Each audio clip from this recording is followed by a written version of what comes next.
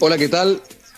Muy, pero muy buenas tardes a todo el mundo. Aquí estamos empezando otro programa más de la Barra de Macu con muchos amigos, con gente hoy de la política, de la economía, de, la organización, ¿no? Vamos a hablar con gente que hace auditorías en empresas, con Leo Piccioli que nos va a indicar cómo es el mundo actual con el respecto a las empresas, a los emprendimientos y a todo lo demás. Soy Guillermo Mazuca, empecé, empecé a full, ¿no? Eh, soy, no me presenté.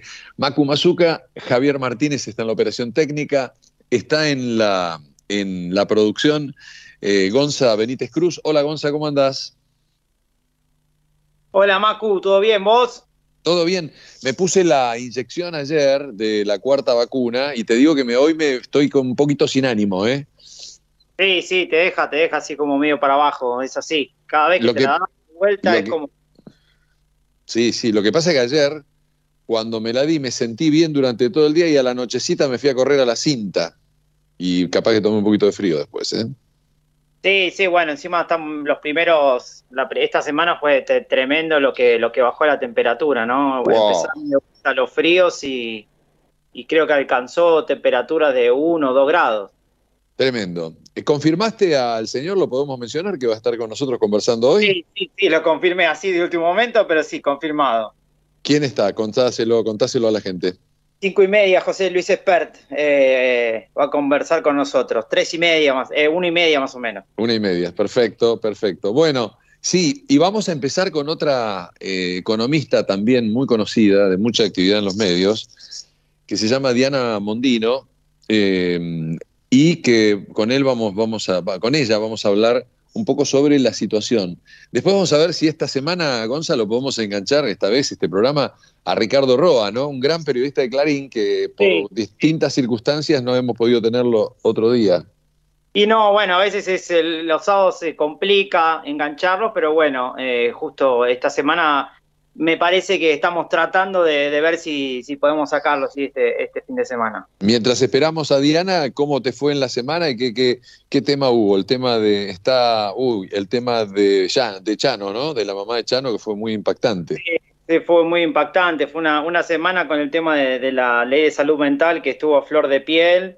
Eh, para, bueno, para los que somos futboleros también tuvimos una alegría de bueno.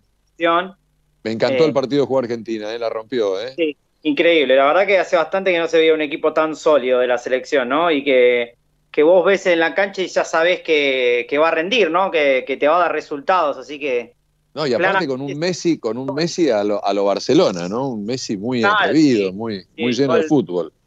El gol que hace, la jugada que hace en el segundo gol es una jugada bien de potrero, aguantando la pelota de espalda, girando, aguantando al marcador que era por lo menos varios centímetros más grande, más alto. Ese, no, ese, ese, fue, ese fue el toro, ¿no?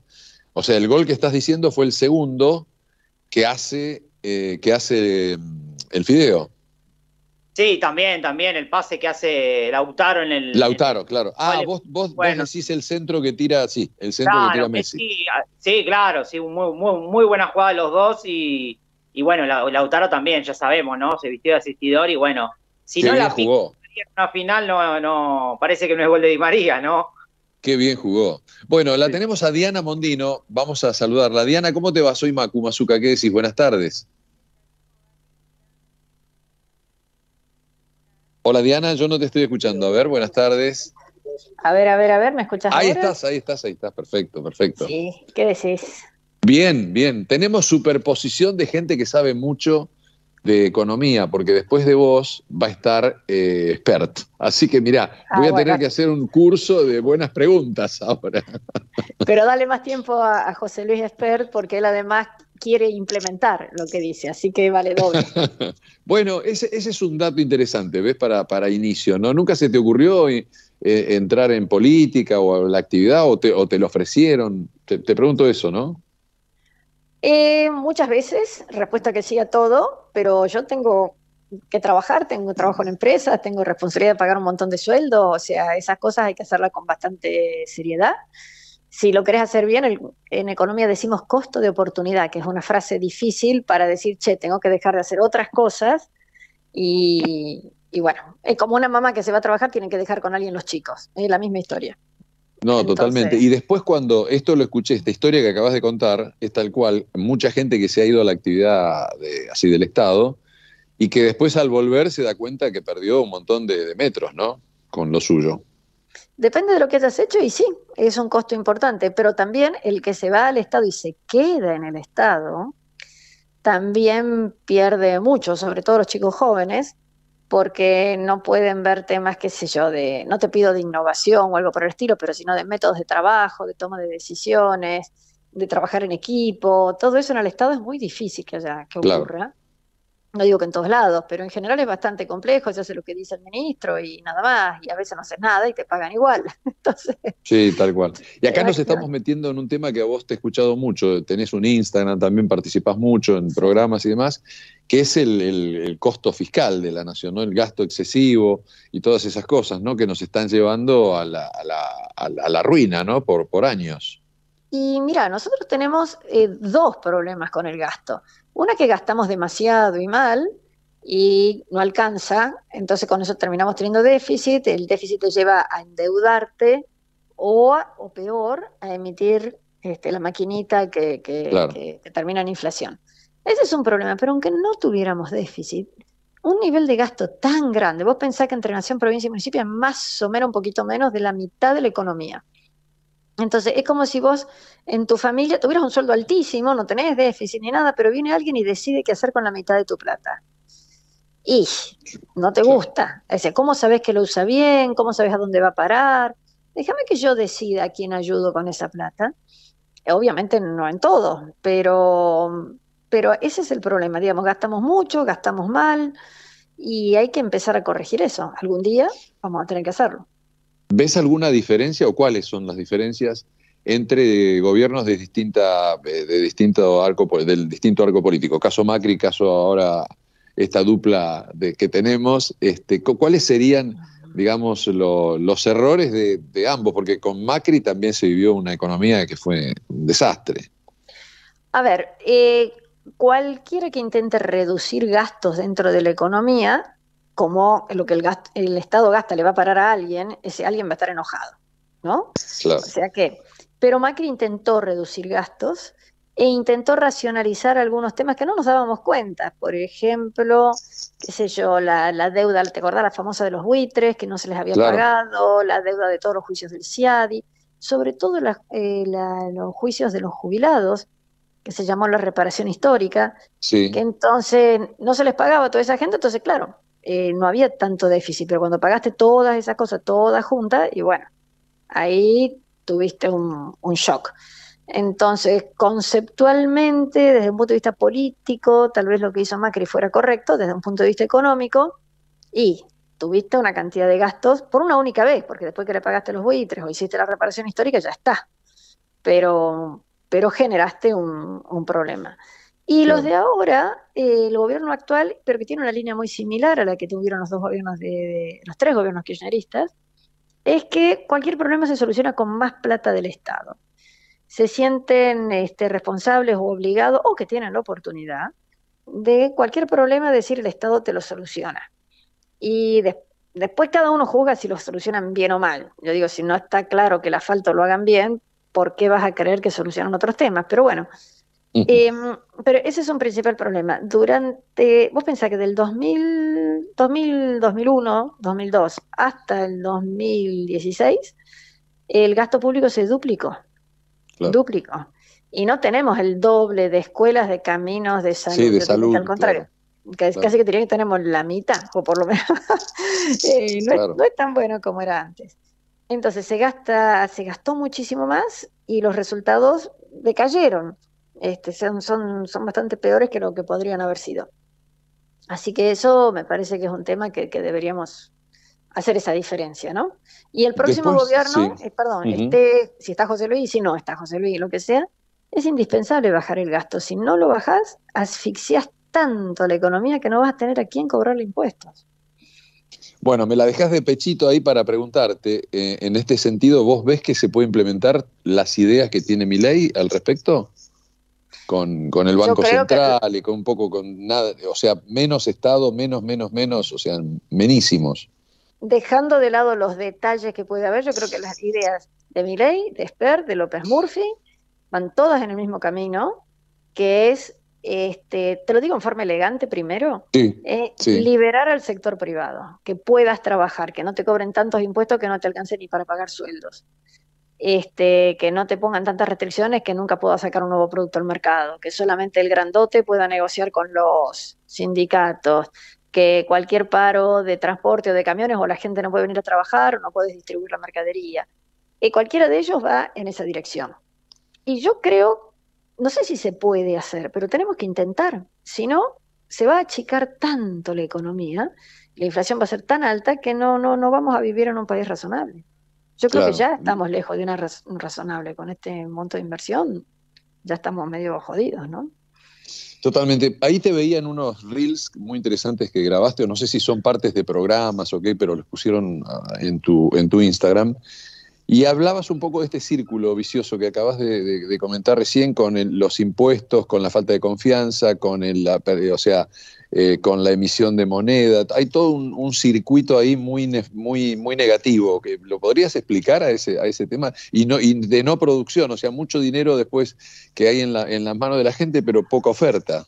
Exacto. A ver, es un círculo vicioso y en realidad puedes empezar por cualquier lado. A ver, las empresas, poner que empiezo por las empresas que pagan muchos impuestos, entonces no ganan plata, no pueden contratar más gente, como no contratan más gente, hay desempleo, salarios bajos, entonces este, el municipio, bueno, algún estado dice, che, bueno, el desempleo, pobre gente, hay que contratar. Hace, unos años se los contrataba aunque no hicieran nada, y después se le empezó a dar planes, en donde cual tampoco hacen nada. Entonces, para pagar a la gente que no hace nada, la gente que sí trabaja le queda muy poquito de su sueldo por los impuestos, entonces no tenés incentivo a trabajar más y esforzarte, entonces no tenés plata para comprar en las empresas, entonces las empresas no ganan plata y encima le cobran mucho impuesto y vuelta a empezar. Claro. Este, y como no alcanza con los impuestos que cobramos, el gobierno dice, bueno, no, pero yo necesito ayudar a toda esta gente, necesito pagar las jubilaciones, entonces o se endeuda o emite más dinero. Y si emitís más dinero pero no hay más producción, va a los precios. Y si te endeudas, pero no es para construir algo, no es para hacer una autopista, un puerto, un camino, no, sino que es para pagar sueldos, después de dónde va a salir más plata para devolver la deuda más los intereses. Entonces nosotros mismos estamos en un círculo vicioso que tenemos que tratar de romper. Y las propuestas de cualquiera de estas personas que, que mencionaste, de Miley, de Esper, de López Murphy, todas van a intentar romper ese círculo vicioso. Unos empiezan por un lado, otros van por el otro. O sea. Hay que ver si después viste los sindicatos, y eso hace un rato vos decías que había, había empresas que, bueno, el, sindicato de camioneros que bloquean las empresas no pueden salir a trabajar, porque hasta tanto no se alisten con ellos en, camioneros, que es, una vergüenza lo que están haciendo, lo que hicieron acá en San Pedro, en San Nicolás, eh, creo que en Chaco el otro día. Eh, lo que tendría que tener es el sindicato trata de las mejores condiciones posibles para su gente. Eso es totalmente lógico y razonable. Si exigen demasiado, las empresas van a tratar de contratar poco de ese tipo de gente. Al sindicato no le importa el desempleo. El trabajo de un sindicato en cualquier lugar del mundo es conseguir las mejores condiciones para sus afiliados. Si después hay un millón de tipos sin laburo, no le importa. Claro. No le importa, quiere lo mejor para sus afiliados. El problema es si lo mejor para su afiliado lo hacen de una forma tan, tan exagerada, en algunos casos hasta violenta, que la empresa no lo puede pagar o no lo quiere pagar porque no se quiere someter a, una extorsión y entonces eh, al final la empresa no le va bien y terminan quedándose sin trabajo, no solo los camioneros, sino todos los otros que estaban alrededor de la empresa que que, digamos, los otros empleados de la empresa que también se van a quedar sin trabajo. Entonces, cuando vos apretás mucho, mucho, mucho en un lugarcito, eh, bueno, terminás afectando a todos los demás también. Mm. Eh, en este marco que contás o que eh, nos estás explicando el tema de la economía, está a para colmo un ministro de Economía que lo tienen rodeado, ¿no? que tiene poco, muy débil apoyo del gobierno, porque es un gobierno débil, aparte, un presidente débil, y tiene mucho tiroteo del parte del cristianismo. ¿Cómo ves eso y qué, qué te parece que ha hecho bien y que ha hecho mal Guzmán? Y perdón, ¿y por qué te tengo que decir de Guzmán y no de los otros 20 ministros? ¿Qué han hecho de bien o de mal los otros ministros? ¿Por qué aumentar el gasto enormemente te, iba, perdón, cada te iba a preguntar sobre ah, mi- ministros anteriores de Macri y dije, voy a, voy a preguntar primero sobre Guzmán, pero interesante, a ver. No, pero es que en cualquiera de los casos, o sea, un ministro de Economía en Argentina, antes y ahora, es un ministro que le da la plata a los otros que son los que gastan. Acá lo que hay que ver es qué hacen los otros que gastan. A ver, tenemos un montón de gastos que son de muy difícil modificación. Todo lo que es el ANSES, Eso tiene que quedar. Pero, a ver, decime qué regulación tenés en energía para ver cuánto. El ministro de Economía tiene que pagar los subsidios, pero la regulación de energía este, le queda a él, pero hay que pagar la factura. ¿Qué hacen los ministros de Educación? Ah, son provinciales, cierto, me había olvidado.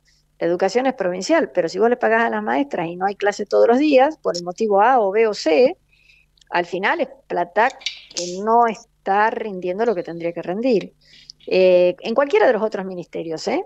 Entonces vos decís, momento, no nos enojemos solo con el ministro de Economía. ¿Los demás qué están haciendo? Y podemos hacer una lista de ministerios que la verdad que ni, nos enteramos de lo que hacen y cuando nos enteramos querés salir corriendo, ¿no? Claro. Tocaste el tema energía. ¿Cómo ves el tema vaca muerta? Y bueno, esta semana ocurrió que este, se, se fue el que estaba encargado del, del tema de, de la obra esta interesante que van a hacer de toda la de- de- del gas. Y este y, y eso podría llegar a ser algo importante para bajar el costo de energía. ¿Vos cómo ves eh, vaca muerta? Bueno, esto es, el gasoducto se debería haber hecho hace 10 años, hace 8, hace 6, hace 4, hace 2, hace 1, si en algún momento lo vamos a empezar. A mí lo que me preocupa enormemente es el concepto de creer que el gasoducto tiene que ser público. No, no, no entiendo por qué la obra la tiene que hacer Ajá. el Estado.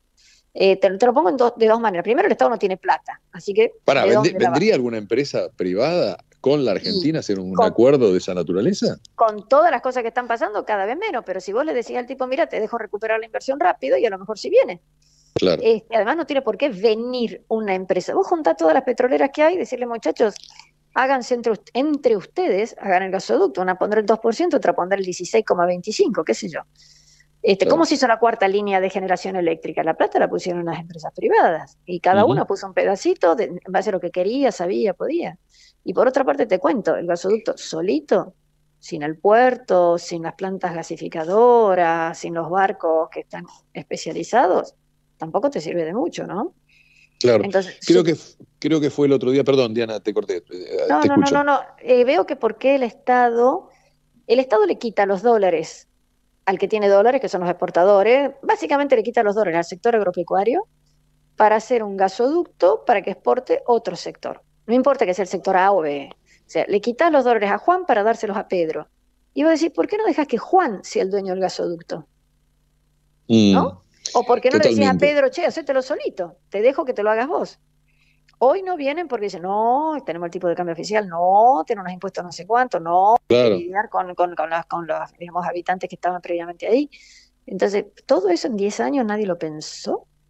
Y yo que te puedo decir, me consta que eso sí estaba listo para hacer las licitaciones y este, que se podría haber hecho privado, se suspendió, que se, eh, se hicieron para las licitaciones. En, Javier Iguacel lo recordaba ayer, estuvimos juntos en un programa Sí, que habían vi. dejado todo listo y todavía no estamos. O sea, yo no sé si está bien o está mal, si tiene que costar 10 pesos, 200 o 5 mil, no tengo idea.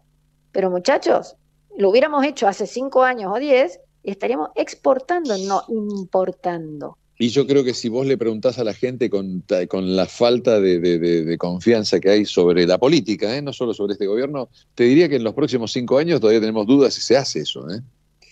Bueno, pero suponete que, digamos, como la gestión estatal se puede quedar sin plata, se puede quedar en la mitad, puede pa- ma- pasan cosas, digamos, en el mejor lugar del mundo pasan cosas.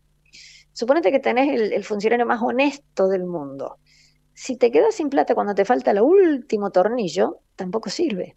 En cambio, si es una empresa privada y falta el último tornillo, se da vuelta y alguien de Namibia va a querer venir y poner el último tornillo. Será una cuestión de precio, de cuánto te, te, te negocian. Claro, Pero Eh, de hecho, te recuerdo, digamos, los otros gasoductos que hay en Argentina tienen gestión privada. TGS, TGN, Oldeval, Oldeval no es de petróleo, pero, pero son, son, son privados. O sea, ¿por qué este justo que lo necesitamos desesperadamente va a ser público? Sí, pero viste, viste el pensamiento político que tiene este gobierno, ¿no? O sea, nos pasó con las vacunas, con la de Pfizer, que por una cuestión ideológica no, no, no, nos perdimos no sé cuántos millones de vacunas al principio, quién sabe cuántas vidas se hubieran salvado. Pero yo te lo digo que es peor que la cuestión ideológica. Hay muchísima gente. Este, este razonamiento lo hice hace poco con otras personas, un grupo de amigos. Dice, no, bueno, pero es algo tan importante, no puede ser privado. ¿Por? No, porque ganarían mucha plata. Primero, no tiene nada de malo. Y segundo, ¿por qué habrían de ganar menos plata si lo hace el Estado o no el Estado? No es que el agujero está hecho, el caño pasó.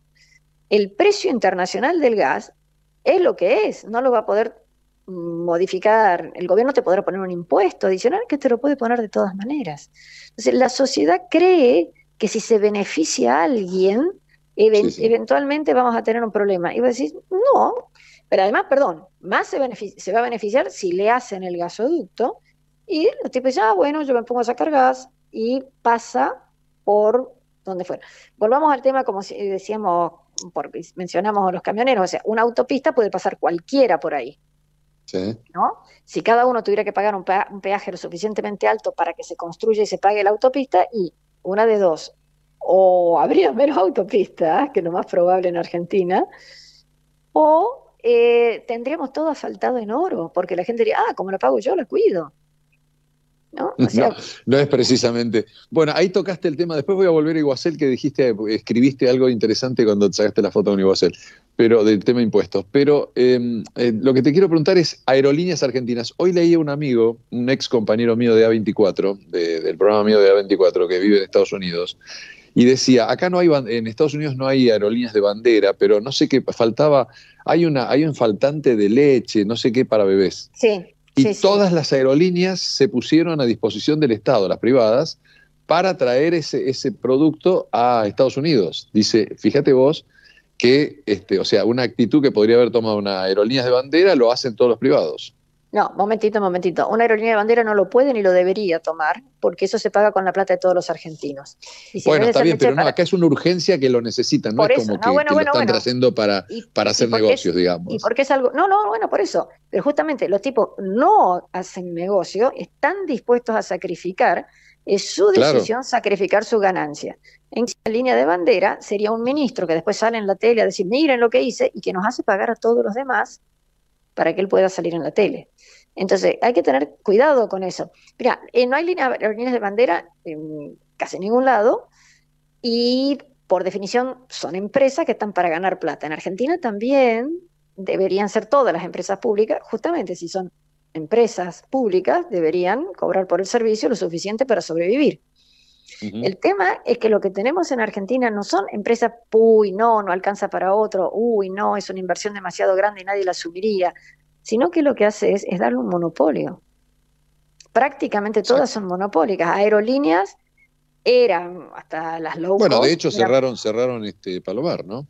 Cerraron Palomar, se fue Norwegian, antes no sé por dónde anda, creo que Flybondi y, y JetSmart quedan pero había, había tres o cuatro más que, bueno, a algunos les fue muy mal también, ¿no? Pero, bueno, pero aparte, digamos que Aerolíneas pierde mucha plata, ¿no? Es decir, ahí, ahí hay que hacer algo y está muy gremializado esa, esa empresa, ¿no? o sea, tiene un gremio muy combativo. No hay ningún problema en que pierda plata si es plata de otro, no si es plata tuya y mía del señor que nos está escuchando. O sea, porque ellos dicen, ah, quiero sueldo más alto, bueno, me, me auto subo el sueldo, señores, ustedes que pagan impuestos, denme un poquito más. Esa es la parte que tenemos que entender. O sea, hay muchísimos casos en donde hay empresas que pierden plata. Hoy en el sector privado hay cantidad enorme de empresas que pierden plata.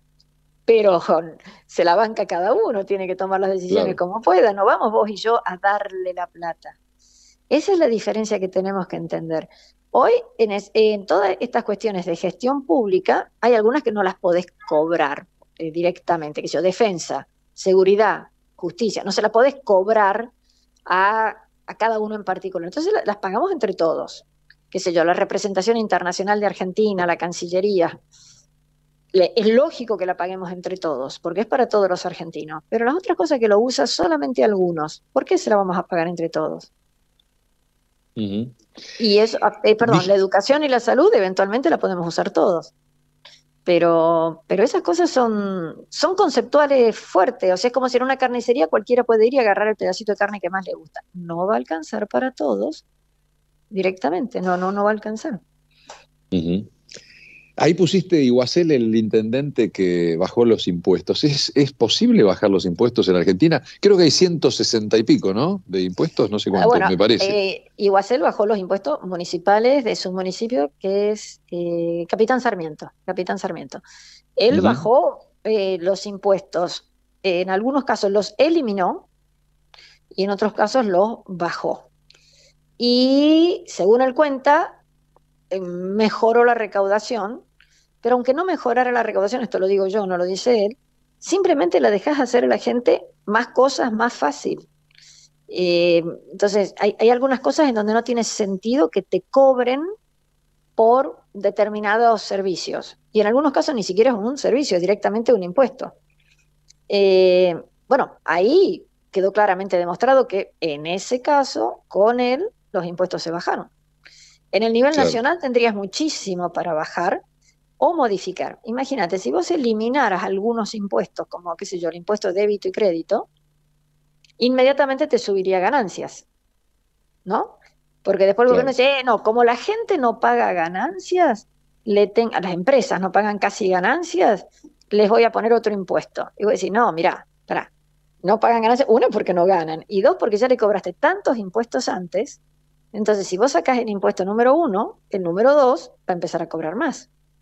Acá tenemos la causalidad, el orden de los factores invertidos. Te dicen, porque paga poco impuesto a las ganancias, le subo cada vez más el otro. Lo mismo con el IVA, lo mismo con ingresos brutos, lo mismo con, bueno, con esta enorme cantidad de impuestos que tenemos. Claro. No, es un desastre. La, la verdad que una persona que quiere abrir un negocio, quiere iniciar algo, lo piensa diez veces, ¿no?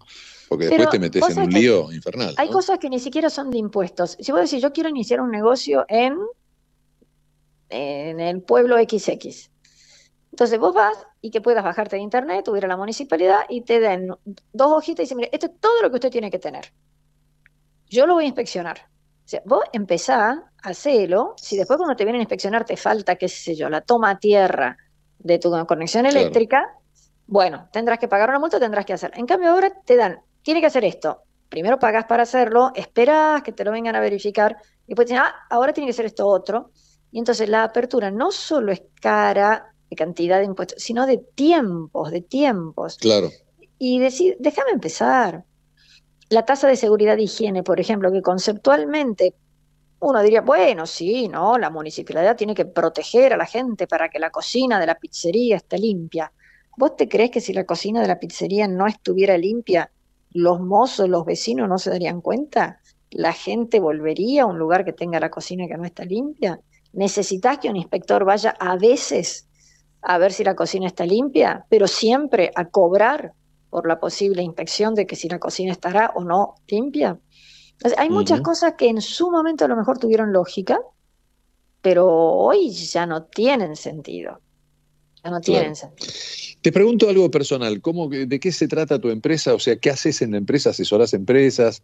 ¿Tienes, ¿Tenés como auditorías? ¿Qué, qué es lo que haces en, en tu, Yo trabajo en, la Parte, yo trabajo, eh, bueno, formalmente soy miembro del directorio de empresas, que son las empresas que miran la estrategia de la empresa, como cómo sobrevivir o cómo ganar más ah, plata. O sea, como un asesoramiento, decís vos. No, no, no, trabajo continuamente este, ah. y, digamos, tengo una participación en lo que vos dirías una fintech, que es un sistema de que reduce mucho costos de cobranzas.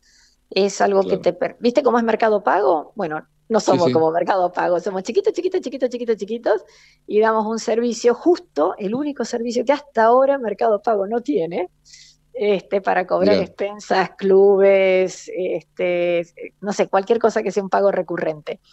Y, justo, ayer, justo ayer leí que se cumplieron 10 años de, del, ¿cómo se llama? El sistema para, para cobrar, para pagar de, con, con pago fácil, el, el QR. Mira. La QR. Este, ¿El QR tanto tiempo tiene ya? Sí, 10 eh, años. Lo sacó Galperín ayer. Mira, mira qué maravilla. Eh, mira, todos esos sistemas agilizan, ¿no? Te reducen costos, te reducen tiempo, te permiten hacer otra cosa. Este, cuando yo era jovencita, todos los pagos que hacíamos teníamos tres colores, celeste, verde y amarillo de los papelitos. Entonces uno era para el, para, para el proveedor, otro era para la contaduría, el otro te quedaba en tesorería. Bueno, ahora con todas estas cosas, este, nada te impide seguir con los papelitos de colores, pero realmente es extremadamente más eficiente todo el sistema. Claro. Y, bueno, esas cosas son buenas. En la empresa ya somos 130, ¿eh? Así mirá, que, mirá. O sea, ¿y están las oficinas? ¿Ya están oficinas a pleno o siguen trabajando desde casa? Eh, mira, por lo que nosotros hacemos, tratamos, eh, podemos trabajar desde casa, pero nos gusta mucho estar juntos. Porque salen ideas, vienen cosas, este, a alguien se le ocurrió, un tipo tiene un problema, entonces el de al lado se lo puede solucionar. Pero es un poco porque es medio como, como familiar. O sea, no, achicaron oficinas, digamos. Siguen manteniendo los metros que tenían antes de la pandemia. Eh, bueno, de hecho somos más gente que antes de la pandemia. Claro. Claro. Tenemos mucha gente joven que tiene otra cabeza, otras ideas, y perdón, y para yo soy más viejita, para formar la gente joven, si haces un, lo llamas por teléfono, simplemente lo llamás y le decís hace tal cosa pero tenés que tener tiempo de explicarle por qué, para qué. Y tres días después el pibe viene con una idea. Y cinco días después la, la, la, mocosita que le explicaste algo dice, Diana, ¿y no sería mejor hacerlo de tal otra forma? Y eso es, es muy bueno. Te hago la última pregunta. ¿Qué opinas de esto del tema de las bitcoins? Viste que ahora las empresas están despidiendo gente. Ahí, hay un tema de confianza que se cayó todo, como, y también de tasas de interés, ¿no? Porque el dinero lo están poniendo más en tasas de interés que, directamente ahí. O sea, lo que yo leía era que las bitcoins, en vez de, ahora de pensar a largo plazo, piensan en, recuperar el dinero o el negocio en el, en, el, en el momento, ¿no? O sea, más estratégicamente cambió. A ver, lo que pasa es un tema largo y complicado. Este, hay varios miles de monedas. Bitcoin es una sola, las otras no. Pero lo que es importante y de lo que está saliendo gente ahora son lo que se llama, mira qué linda palabra, el ecosistema, una palabra preciosa, que es todo lo que está alrededor de algo. El ejemplo que siempre se usa es cuando alguien iba a buscar el oro en las minas de California, alguna gente encontró oro, muy poquita, pero el señor Levis inventó los jeans Levis. Este, trabajaba el tipo que le vendía las palas, trabajaba el tipo que le vendía la comida, trabajaban las cabreteras, este, trabajaba mucha gente. Claro, un mundo. Eh, exactamente. Bueno, y el tema este de, blockchain, que es el tema técnico detrás del, del Bitcoin, que no todas las monedas lo tienen, bueno, abrió un mundo también. Y eso, bueno, es un mundo desconocido. De nuevo, algunos van a encontrar oro, no todos, algunos van a, darle de comer a los, a los que fueron a buscar oro, no todos. Es un tema que, tiene sus su vueltas y está muy relacionado con el mundo real, las tasas de interés que vos decías, las otras oportunidades, el costo de la energía, está muy relacionado con muchos otros temas. O sea, perdón, no es un tema para que uno diga, ah, bueno, me dijeron que iba a subir y vas y compras. No. O si lo vas a hacer, hazlo con, un, con cuidado, con mucho cuidado. Y mucha gente entró de la primera forma que acabas de, describir, ¿no? O sea, diciendo, pero, si entro acá un negocio tan obvio, tan fácil y tan bueno, eh, digamos, si el negocio fuera obvio, fácil y bueno, ya no sería negocio, porque otro lo hizo antes. Claro. Así que todos los negocios tienen riesgo. Diana, muchísimas gracias por, por esta charla, ¿eh? muy amable. Gracias a ustedes, dale cariños a José Luis ahora que lo atiendas. Un beso. Ah, sí, sí, sí, gracias, muy amable. Chao, chao. Diana Mondino, en nuestro programa para empezar, hacemos una pausa y enseguida volvemos con eh, Expert, José Luis. Ecomedios.com AM1220. Estamos con vos. Estamos en vos. Descarga gratis de tu celular la aplicación Ecomedios. Podés escucharnos en vivo, informarte con las últimas noticias y entrevistas en audio y video. Búscala y bajate la aplicación Ecomedios. Podés vernos en vivo en ecomedios.com. Ecomedios.com. Contenidos audiovisuales. Conectate con nosotros.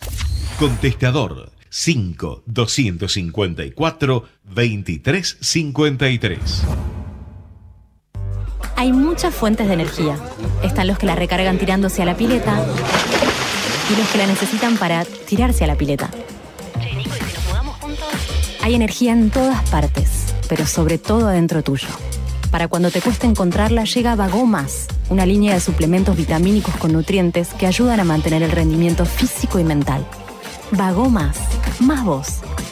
Ahora, para tener una caja de seguridad no necesitas ir a un banco, podés ir a un shopping. Sí, Hausler abrió una nueva sucursal en Alto Palermo, atendiendo en horario shopping todos los días de la semana, para sumarle comodidad a la máxima seguridad y tecnología para proteger tus valores. La contratación es sencilla e inmediata, ofreciendo total confidencialidad y privacidad. ¿Querés tener una caja de seguridad Hausler?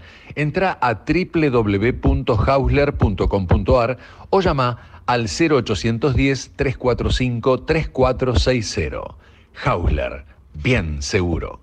Impulsamos el desarrollo del país. DESA, energía que transforma. Sábanas acolchados frazadas Casablanca, con la calidad que nos caracteriza.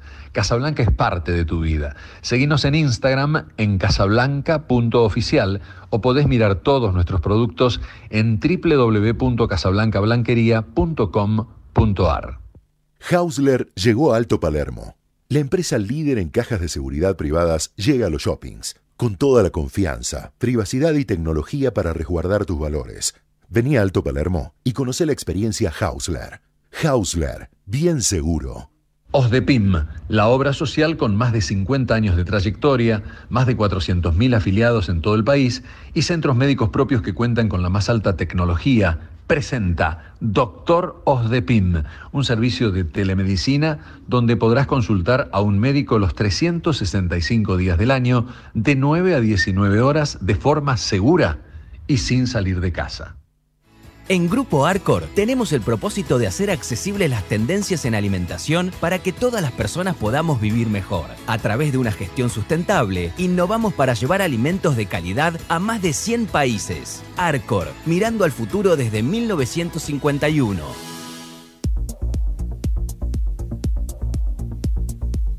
Bueno, acá estamos.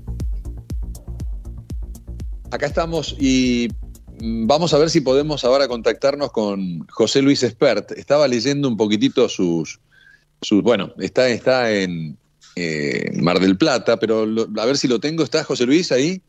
Hola, hola, hola. ¿Cómo va? ¿Qué hace, ¿Cómo andas? ¿Bien? Saludos a todos los oyentes. No estoy en Mar del todavía, ¿eh? mañana, mañana. Ah, ah te vas mañana, te vas mañana. bueno, ahí eh, mucha actividad. ¿Cómo andás? Estás muerto ya, ¿no? Porque ustedes tienen una actividad así de, ir para acá, para allá, de presentaciones. Mm. Estoy en tu Twitter, estoy en tu Instagram.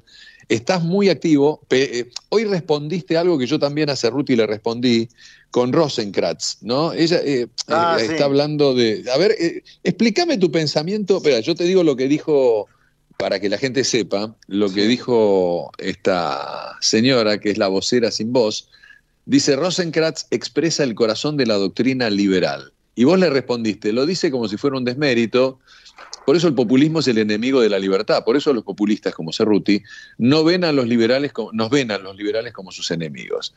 Explícame un poquito la idea esta de Cerruti, que es un poco la idea de, kirchnerismo, ¿no? Y aparte le está tirando porque, como quieren aumentar el número de, jurados en la corte o de, jueces, para, para que zafe Cristina, hacen esta jugada que tiene como que tiene aliento del poder, ¿no? Del poder más alto.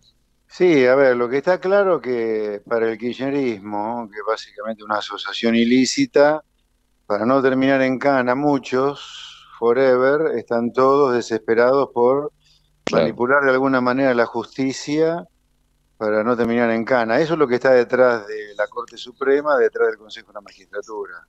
Digo, lo que el kirchnerismo está queriendo hacer con la Corte Suprema y lo que el kirchnerismo quiere hacer con el Consejo de la Magistratura. Eso es el bosque, eso es el paraguas, ese es el contenedor.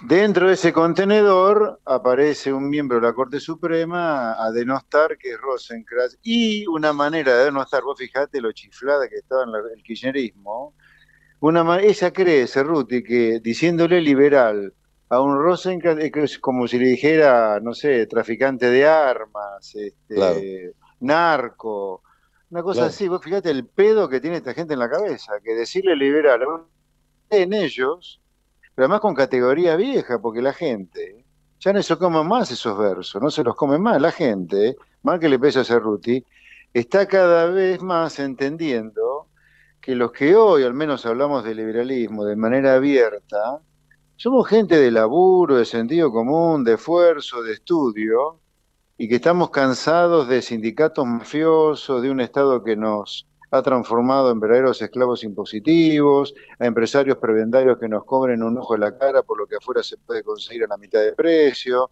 La gente está podrida de eso y los liberales, o por, por lo menos yo, expreso esas reformas que hay que hacer, una reforma laboral para que no haya trabajadores en negro y los empresarios no sientan que contratar a alguien es meter una bomba atómica dentro de la empresa, como ocurre hoy con estas leyes laborales, que si se te ocurre despedir a alguien después de haberlo formado, calificado, hecho, habiendo hecho aprender tu, tu, tu actividad, si lo llegas a echar por la razón que sea, te funden con el juicio laboral que te comes, estamos esclavizados impuestos, lo que estamos en blanco. O sea, los liberales queremos esa reforma, queremos este, un país para garcas, poderosos, conservadores, de derecha, de galera, bigote, bastón y habano. No, queremos un país que sea vivible para la gente normal, que es la que hoy sufre la inflación, la inseguridad, las cosas caras, las leyes laborales. Eh, bueno, por eso Cerruti está que arde también, ¿no? Claro, claro. Ahí, ahí recién hablé con Diana Mondino, la, parte anterior del programa, así que te dejo, un, te dejo un saludo, porque le dije ahora voy a hablar ah, con... Un gran saludo para ella, sí, si nos está escuchando. Y bueno, le, dije ahora voy a hablar con Expert. Eh, a ver, José Luis, vos, vos eh, con toda razón estás hablando de la protección que está buscando el kirchnerismo con, el, con la ampliación muy dudosa, porque aparte tienen hace como siete, ocho meses un nombre para la Corte y no, no lo no lo llevaron al Congreso, con la ampliación esa dudosa que quiere con los gobernadores, etcétera, este débil presidente. Y eh, ahora en el Consejo de la Magistratura me parece que ya la cosa cambió ahí, ¿no? O sea, ya tomó ahí el, digamos, la forma de, antes de, de, la modificación del Senado y de Cristina, ¿no? Sí, ahí está un poco más encaminado, sí. Pero bueno, eh, como yo lo he dicho en repetidas oportunidades, esto que estamos viendo ahora con la Corte, antes con el Consejo de la Magistratura por parte del kirchnerismo, es algo que no hay que tomarlo como natural, hay que horrorizarse, pero tenemos que acostumbrarnos a estar con los eh, dos ojos bien abiertos, las dos orejas o los dos oídos bien abiertos, bien, bien, bien, bien afiladitos, porque esta gente no va a parar con la justicia, no va a parar de avanzar con la justicia, esperará se tomará pausas, pero no va a descansar nunca del todo porque, ¿me entendés? Lo necesitan como necesita la tierra desértica el agua. Son chorros y no quieren quedar en cana, es así de simple. Claro. Eh, yo me acuerdo, te seguía por, te sigo por, por Instagram, a Javier Milei también, y veía que salían ¿no? en el auto a la mañana tempranito con el periodista, con el mendocino, que no me acuerdo cómo se llama, que es un fenómeno, y salían y, ¿Cómo se llama? Que está con vos. Luis Rosales, Luis Rosales. Luisito, con Luisito. salían y hicieron un trabajo muy bueno en inicio, muy, o sea, una, una traccionaron juntos. ¿Qué pasó con ese, con esa, con esa idea de que estuvieran juntos? Y después, y ahora a futuro, porque el crecimiento de Milei ya sabemos lo que, lo que está haciendo. Y bueno, vos tendrás tus diferencias. ¿Cómo, cómo está la situación entre ustedes? Mira, eh, la cosa es así, muy simple, muy clara, muy nítida. Eh, Javier, en el 19, cuando nosotros, o cuando yo decidí ser candidato a presidente, en ese momento él no quería hacer política. En el 20 decidió hacer política, al único espacio que fue a buscar para hacer política fue el nuestro, el que conformamos con Luis Rosales, Avanza Libertad. Estuvimos un año los tres juntos, o si vos querés, un año estuvo Milei con nosotros nos llevamos bárbaro, todo, todo perfecto, ¿eh? todo 10 puntos sobre 10, pero un día dijo, mira, siento que acá soy uno más, siento que yo doy para más, siento que puedo ser solo, siento que tengo espaldas para ser yo, tener mi proyecto propio. Y se fue un año después eh, para armar Libertad Avanza, no Avanza Libertad, que era el espacio que lo cobijó, armó Libertad Avance y le está yendo bárbaro. Así que me alegro por él que habiendo tomado una decisión de salirse de un espacio que lo contuvo mucho, eh, decidió irse, pero no ha pasado nada más ni nada menos que eso, te diría. Si el tiempo nos vuelve a juntar, bueno, el tiempo lo dirá, pero no hay ningún problema personal con Javier, está todo bien, pero que quede claro que como buen liberal yo tengo que aceptar una persona que no quiere estar más con vos y por razones más que valederas, viendo cómo le está yendo hoy, ¿viste? Eso fue todo, nada más ni nada menos. ¿Tenés diálogo con él en la actualidad, estos días? No, este tiempo.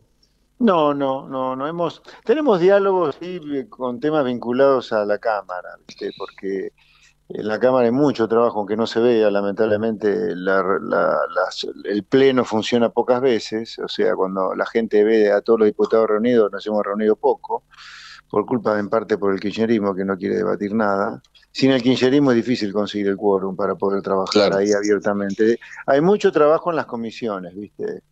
Pero por, por temas legislativos sí tenemos diálogo, sí. Claro, porque cualquiera que los vea juntos eh, políticamente es una foto esa que es muy, muy impactante, ¿no? Que estés vos de nuevo en una foto con, Javier. Para, para bailar el tango se faltan dos, ¿viste? Así que el día que Javier quiera que volvamos a estar juntos, yo encantó de la vida.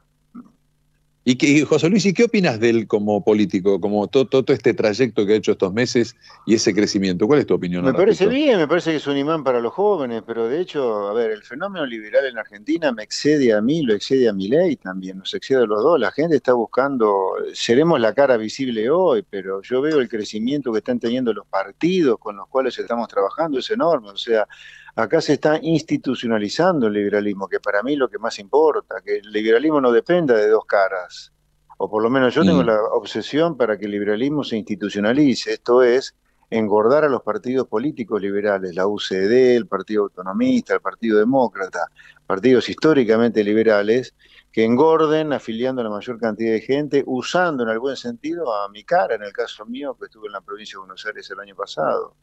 A mí me gustaría que haya mejores dirigentes que yo el día de mañana en el liberalismo y que los partidos y que los partidos queden gordos después que nosotros no estemos más en política para que el liberalismo eh, vaya más allá de dos personas como las que hoy este, lideramos las preferencias liberales que somos eh, Javier Milei y yo, ¿me entendés? Al menos yo estoy trabajando en eso de manera obsesiva porque la Argentina está llena de personalismo, egoísmo, miseria, ¿viste? Yo creo que hay que, hay que mostrarse generoso con el otro, abierto.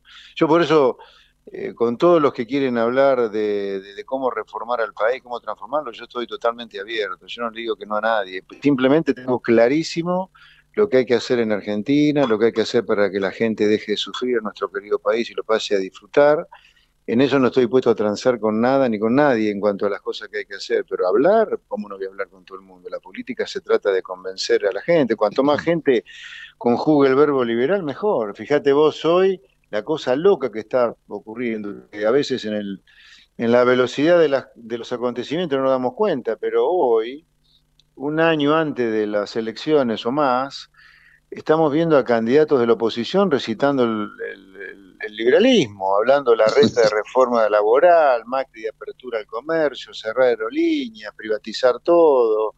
Es una cosa que vos, vos decís, ¿cómo hay que pellizcarse para encontrar a una oposición haciendo campaña eh, con este discurso liberal? Bueno, eso lo hemos conseguido los liberales auténticos, los genuinos, genuinos, genuinos, que toda la vida hablamos de liberalismo, como en mi caso, que desde que tengo alguna luz pública a los 30, ya con 60 horas, hace 30 años que digo lo mismo como dijo Rayado. Yo estoy feliz que la oposición empiece a hablar de las ideas que nosotros hablamos. Ojalá que no sea solo para ganar un voto y después de la elección no hacer nada, pero por lo pronto, si acá eh, el país tiene futuro, el futuro es liberal y cuanto más gente conjugue el verbo liberal, mejor. Así que yo estoy feliz de que la oposición esté copiando el discurso nuestro, feliz.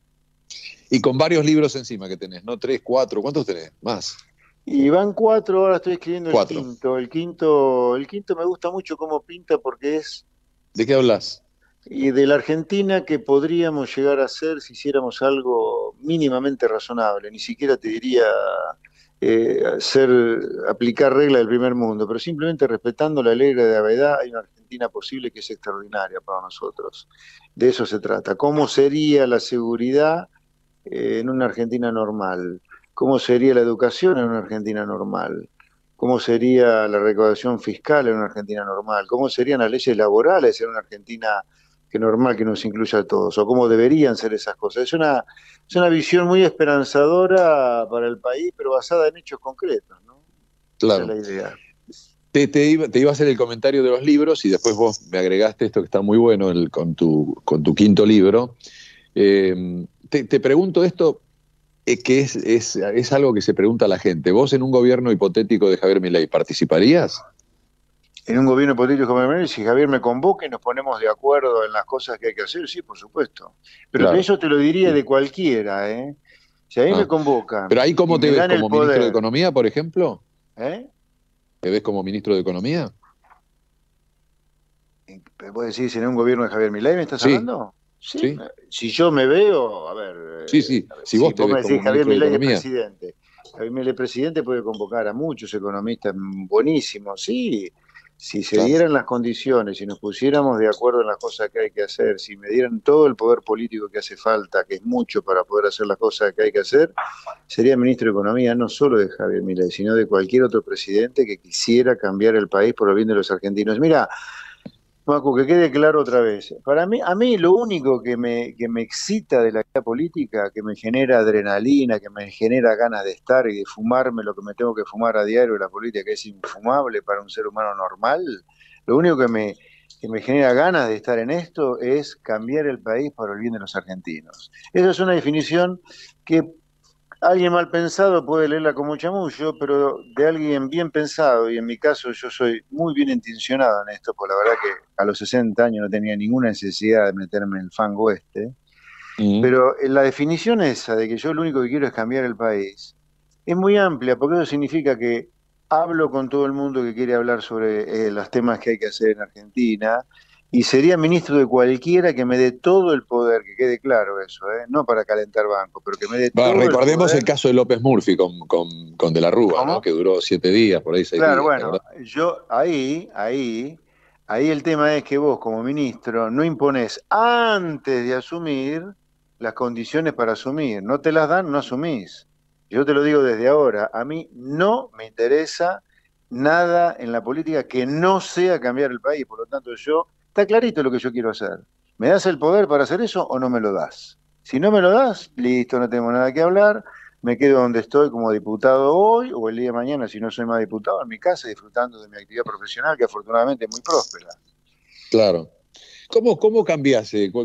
¿Cuáles serían los plazos para cambiar un, un, eh, gobierno, un país, un Estado como la Argentina, que tiene mucho, mucho, mucho Estado, para ir sacándole esa responsabilidad del Estado y ir volviendo hacia, hacia lo privado. Oyendo hacia lo privado. Mira, a ver, acá hay cinco reformas que Argentina debería incorporarlas como seguramente tiene incorporada la ley de gravedad.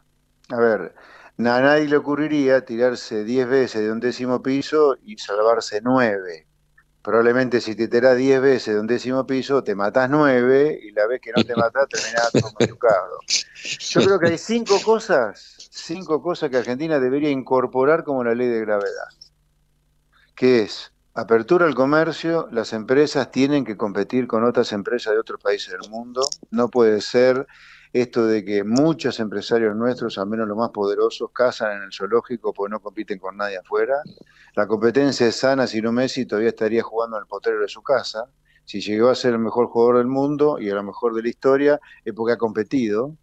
Dos, tenemos que tener un tamaño de un Estado muchísimo más chico para eliminar el déficit fiscal y bajar los impuestos, porque la gente no da más de pagar impuestos. Tres, hay que hacer una reforma laboral urgente porque tenemos 7 millones de laburantes laburando en negro, sin ningún derecho y con salarios miserables. Y además, los empresarios tienen terror a contratar a alguien porque con estas leyes laborales cavernícolas sienten que meten con toda la razón del mundo una bomba atómica dentro de la empresa en lugar de un trabajador. Cuarto, una reforma educativa.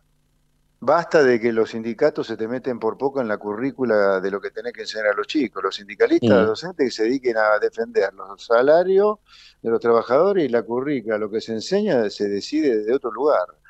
Quinto, una reforma en la seguridad. No puede ser que la gente inocente esté tras la reja en su casa, muerta de miedo, y los delincuentes se pavoneen por la calle filmándose con autoself videos, con self videos, perdón, antes de salir a delinquir. Son cinco cosas que Argentina debería incorporarlas, repito, como la ley de gravedad.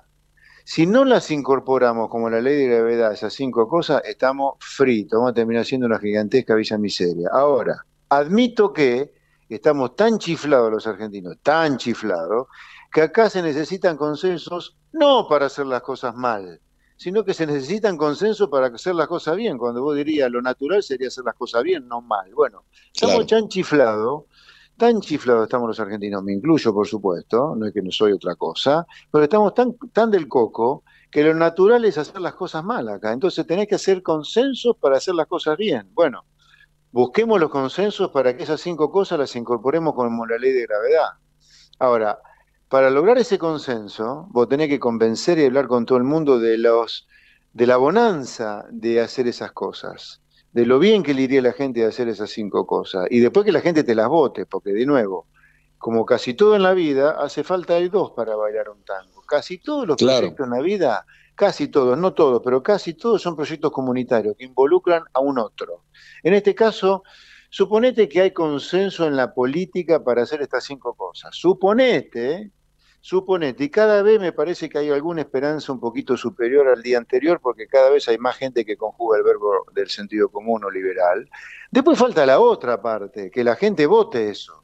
Por eso yo le tiro el sallo a la gente, ustedes tienen que votar otras cosas también, no pueden votar más por el mal menor, habiendo alternativas mucho más razonables que el mal menor en cada elección. Que por otro lado es degradar el voto votar por el mal menor, ¿no? Tema inflación. Ahí Mansur esta semana dijo, tenemos que hacernos cargo de la inflación. Tanto se tiene que hacer cargo de la inflación. ¿Qué, cómo, cómo se, se puede solucionar ese tema y cuáles son los plazos para solucionarlo como lo hicieron otros países? Pero, pero te, lleva te lleva tiempo, te llevan años, ¿no? O, tenés una idea de que se podría llegar a bajar en un tiempo más corto.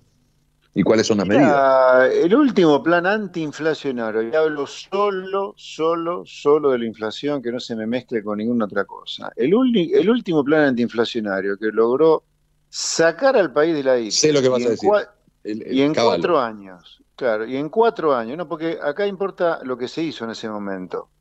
En cuatro años. El uno a uno. Nos sacaron, claro, nos sacaron de la hiper y nos llevaron a una inflación mundial de un dígito anual ocurrió durante los 90. Y ahí, ¿qué misterio hubo? ¿Qué misterio hubo? Y la aplicación de la ley de gravedad en materia monetaria, que es, la inflación es un fenómeno monetario, tiene que dejar de emitir y dar confianza para que la gente quiera invertir acá, quedarse acá, no irse del país. Bueno, esas dos cosas. En cuanto vos hagas esas dos cosas, bajo un marco de mucha credibilidad, de gente proba, de gente reconocida, técnicamente todo bien armado, la inflación te va a bajar. Y dado que la inflación parte no de una hiper, sino de un 70, 80 o 100%, que es la inflación a la cual va Argentina, entre 80 y 100 vamos a tener 2022, 2023, el bajar de 80 a 100 a inflación internacional es mucho más rápido de hacer las cosas bien. No es fácil, como dijo Macri, pero la podés bajar en cuatro años a una inflación de un dígito es hacer las cosas bien. Ahora, de nuevo, sentido común, muchacho. El mundo, el mundo, no José Luis Esper, ya probó que la inflación se resuelve bajando la oferta y subiendo la demanda, como el precio de cualquier cosa. Si una cosa está muy barata, o sea que no compra nada con eso, porque vale, no vale nada, como es con el peso hoy, tiene que hacerlo escaso. Para hacerlo escaso tiene que dejar de emitir y generar mucha demanda de pesos. Así de simple y de complicado para la cabeza podrida que tenemos nosotros también, ¿no? Y que es justo lo que, lo que acá nos está ocurriendo. Ahí hablaste de Macri, ¿no? Muchas veces cuando se dicen palabras políticamente hablando, después hay que, hay que responder, ¿no? De los mil días de, María Julia Alzogaray con el riachuelo, Macri y la inflación que era fácil. Eh, te, hago esta pregunta, José Luis. Eh, ¿Qué opinas vos del tema de dolarizar en Argentina? ¿Se, ¿Se podría hacer eso?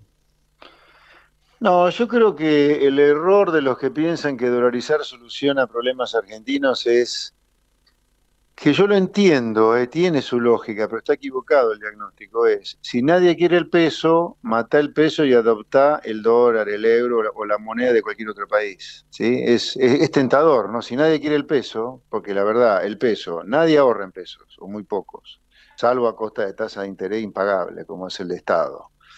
Si nadie usa el peso como unidad de cuenta, sino que como unidad de cuenta para poner precio se fija en el dólar, si la única entonces función que le quedó al peso es ser un poco una moneda de transacción, de tres funciones quedaron dos eliminadas, o sea, la demanda de peso es nada, bueno, considera el peso como una moneda muerta, matarla del todo, optar la moneda de otro país. Es tentador el argumento, pero está mal, lamento decirles que está mal. ¿Por? qué está mal? ¿Por qué está mal? Porque el, el hecho de que esté destruido el peso, nadie quiere el peso, es como consecuencia de cosas profundísimas. que son las que vos tenés que solucionar antes de pensar en el sistema monetario, cualquiera. Esas cosas profundísimas son de índole real, que las puedes tocar. Sobran empleados públicos, sobran subsidios, sobran planes, probablemente sobren provincias y haya que regionalizar, probablemente algunos municipios tengan que fusionarse con otros, tiene que cambiar las leyes laborales, tiene que abrir la economía al comercio, o sea, todo lo real y concreto que hoy funciona para el traste en Argentina es lo que te provoca la inflación, o sea, la destrucción del signo monetario llamado peso. Mi punto es que vos, hasta que no soluciones esas cosas reales que provocan inflación y que han destruido el sistema monetario llamado pesos, también te van a destruir el sistema monetario llamado dólar, también te van a destruir el sistema monetario llamado euro. Cualquier moneda extranjera que vos adoptes y no soluciones los problemas de índole real, que han causado la destrucción del peso te van a destruir el resto de los sistemas monetarios que vos adoptes. Ecuador, que muchos lo ponen como ejemplo, dolarizó después que tuvo una hiperinflación, claro, desapareció la moneda. Desapareció la moneda directamente. Bueno, no te queda otra que dolarizar. A mí siempre me pareció curioso, ahora que mencionás Ecuador, que Correa, de izquierda, aunque había estudiado en Estados Unidos, nunca salió, no sé si no pudo o no quiso. ¿Nunca salió de dónde?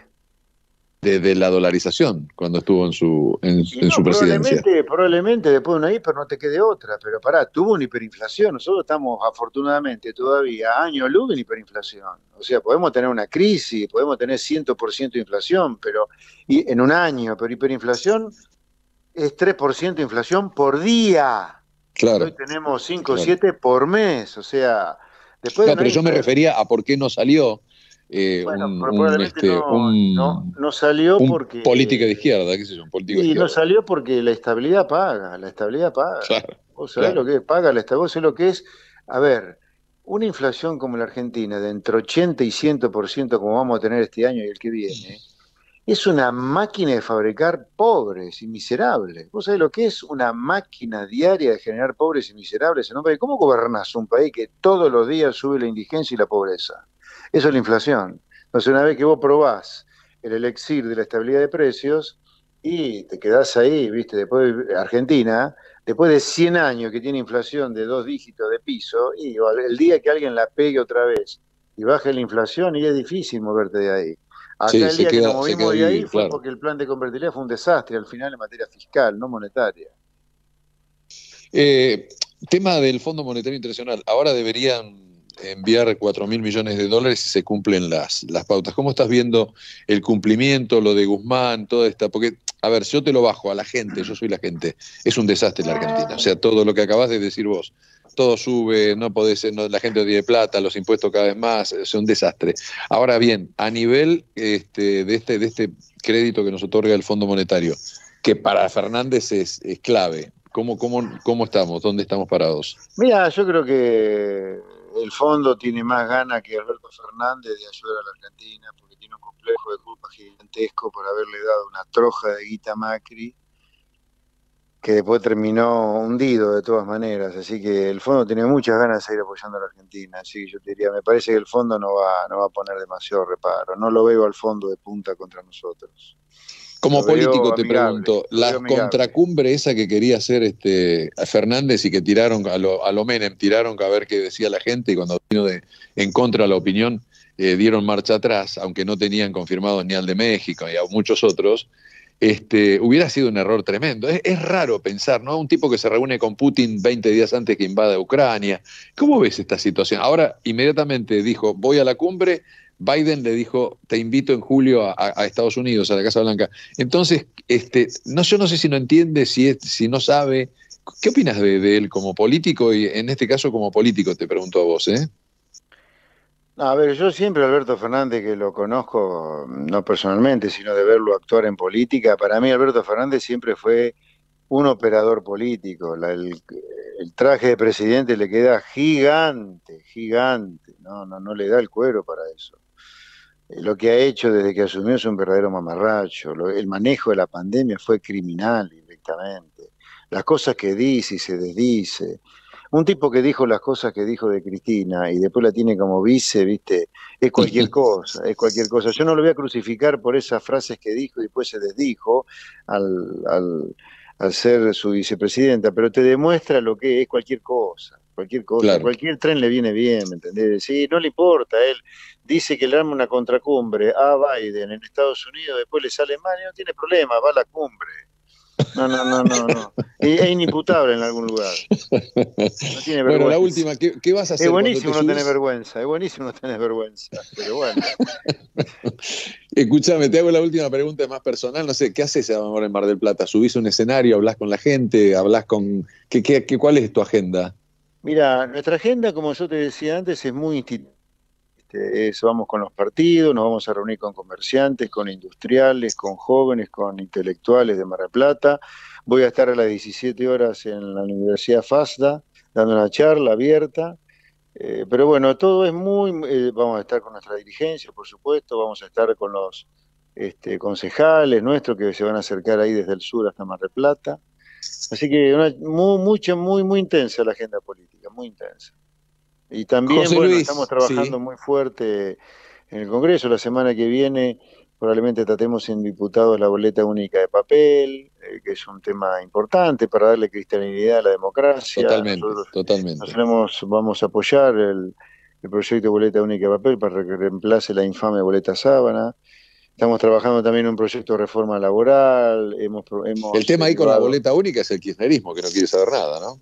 Sí, yo te diría, falta mucho por recorrer. Un primer pasito puede ser diputado, yo creo que ahí tenemos el número para aprobarla. El Senado es más complicado, más complicado, y después al presidente le queda el veto, ¿no? Ahora hay que bancarse, un veto, él, tiene que tener mucha caradurez el presidente para vetar una ley del Congreso que diga terminemos con la infamia de la boleta Saban y vamos a la boleta única, ¿no? tal cual, tal cual. Tal cual. José Luis Espert, diputado, muchísimas gracias. ¿eh? Un placer, muy, muy, muy buenas tardes para ustedes y para los oyentes. Gracias, José. Te sigo ahí en las redes, en todos lados. Por más que estés de diputado, seguís a fondo, a fondo con todo. Me, alegra mucho. Chao. José Luis Espert, el diputado José Luis Espert con nosotros. Vamos a, una pausa y, y venimos con más programa hasta las 3 de la tarde. Desde Buenos Aires, transmite LRI 224, AM 1220, Ecomedios Llegó MGN Salud, medicina privada. MGN Salud es más servicio, más beneficios y excelente atención con los mejores médicos. Llama a MGN Salud al 4629-3351 y aprovecha tus aportes. Recordá, 4629-3351. Con MGN Salud todo es más fácil. Superintendencia de Servicios de Salud www.sssalud.gov.ar 0800-222-72583. RENEM número 117924. Podés vernos en vivo en ecomedios.com. Ecomedios.com. Contenidos audiovisuales. Conectate con nosotros. Eco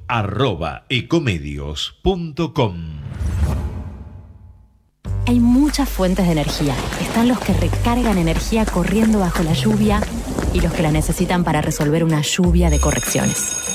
Para cuando necesites un mayor rendimiento intelectual, llega Vagomas activamente, un suplemento vitamínico con nutrientes que ayudan a mantener los procesos de concentración y memoria.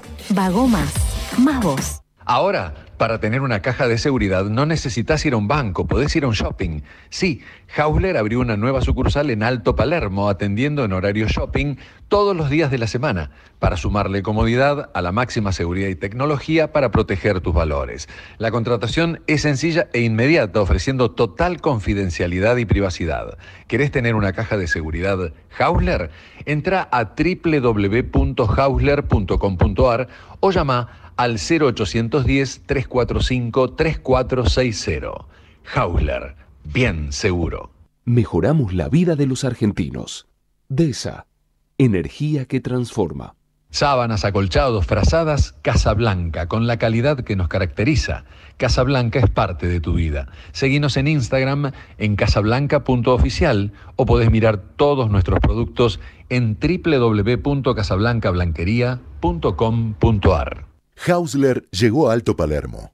La empresa líder en cajas de seguridad privadas llega a los shoppings, con toda la confianza, privacidad y tecnología para resguardar tus valores. Vení a Alto Palermo y conoce la experiencia Hausler. Hausler, bien seguro. OSDEPIM, la obra social con más de 50 años de trayectoria, más de 400.000 afiliados en todo el país y centros médicos propios que cuentan con la más alta tecnología, presenta Doctor OSDEPIM, un servicio de telemedicina donde podrás consultar a un médico los 365 días del año de 9 a 19 horas de forma segura y sin salir de casa. En Grupo Arcor tenemos el propósito de hacer accesibles las tendencias en alimentación para que todas las personas podamos vivir mejor. A través de una gestión sustentable, innovamos para llevar alimentos de calidad a más de 100 países. Arcor, mirando al futuro desde 1951.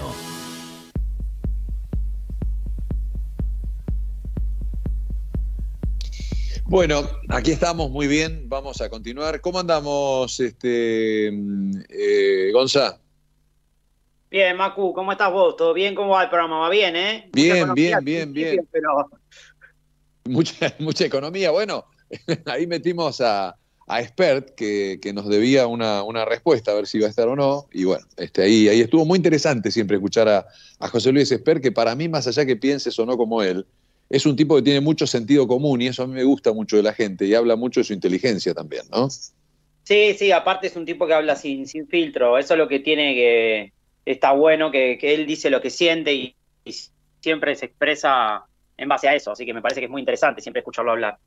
Exactamente. Bueno, pero ahora vamos a hablar con un periodista. Gracias, Javier. Desde la radio está Ricardo Roa, que hace ya dos o tres programas que lo hemos venido invitando y no hemos podido conectar. Ricardo, ¿cómo andas? Soy Macu. ¿Qué decís, Macu? Bien, bastante bien. Tengo la rodilla peor que la del Papa, pero salvo eso, está todo muy bien. Recién acabo de hablar con, con Expert, ahí le pegamos un poquito al, presidente. Bueno, se deja pegar solo, ¿no? O sea, hace se pega todo solo, mal, ¿no? Se pega hace solo. todo mal. Se pega solo, sí. Vos, vos, yo siempre digo que vos tenés mucho sentido común, aparte de escribís como los dioses, pero me encanta cómo escribís y me encanta el sentido, el sentido común que habla de inteligencia.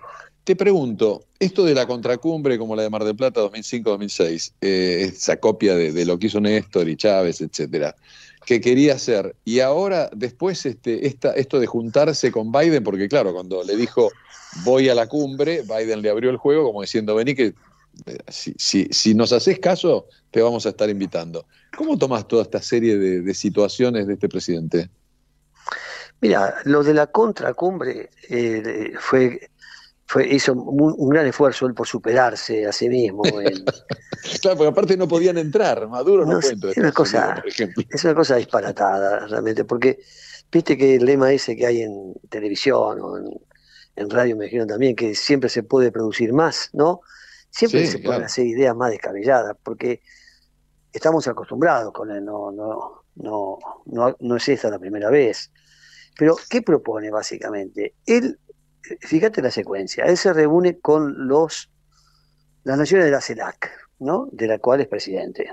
Sí, sí. Una entidad que no tiene sede, que no tiene estructura, que agrupa a países que no están en la OEA, como Cuba, por ejemplo, y que no incluye a Estados Unidos o a Canadá, que sí están en la OEA, y a Brasil, que se retiró. Es decir, es, un- es una organización que compite con la OEA, es una mini OEA sin estructura, básicamente con una, una eh, ideología de, de, llamémosle, de acompañamiento Claro. o de reivindicación de algunas naciones que son los peores de grado, son los, peores del barrio, los, los- los que, Sí, sí. los que están La pandilla. Además, claro, que, que son los que pueden hablar de muchas cosas, pero, pero si de defensa de derechos, de derechos humanos, nada, como es Cuba o Venezuela o Nicaragua, algunas naciones del, del Caribe que viven gracias al petróleo eh, eh, venezolano y, y que entran en un bar, eso es un bar, no son países, ¿no?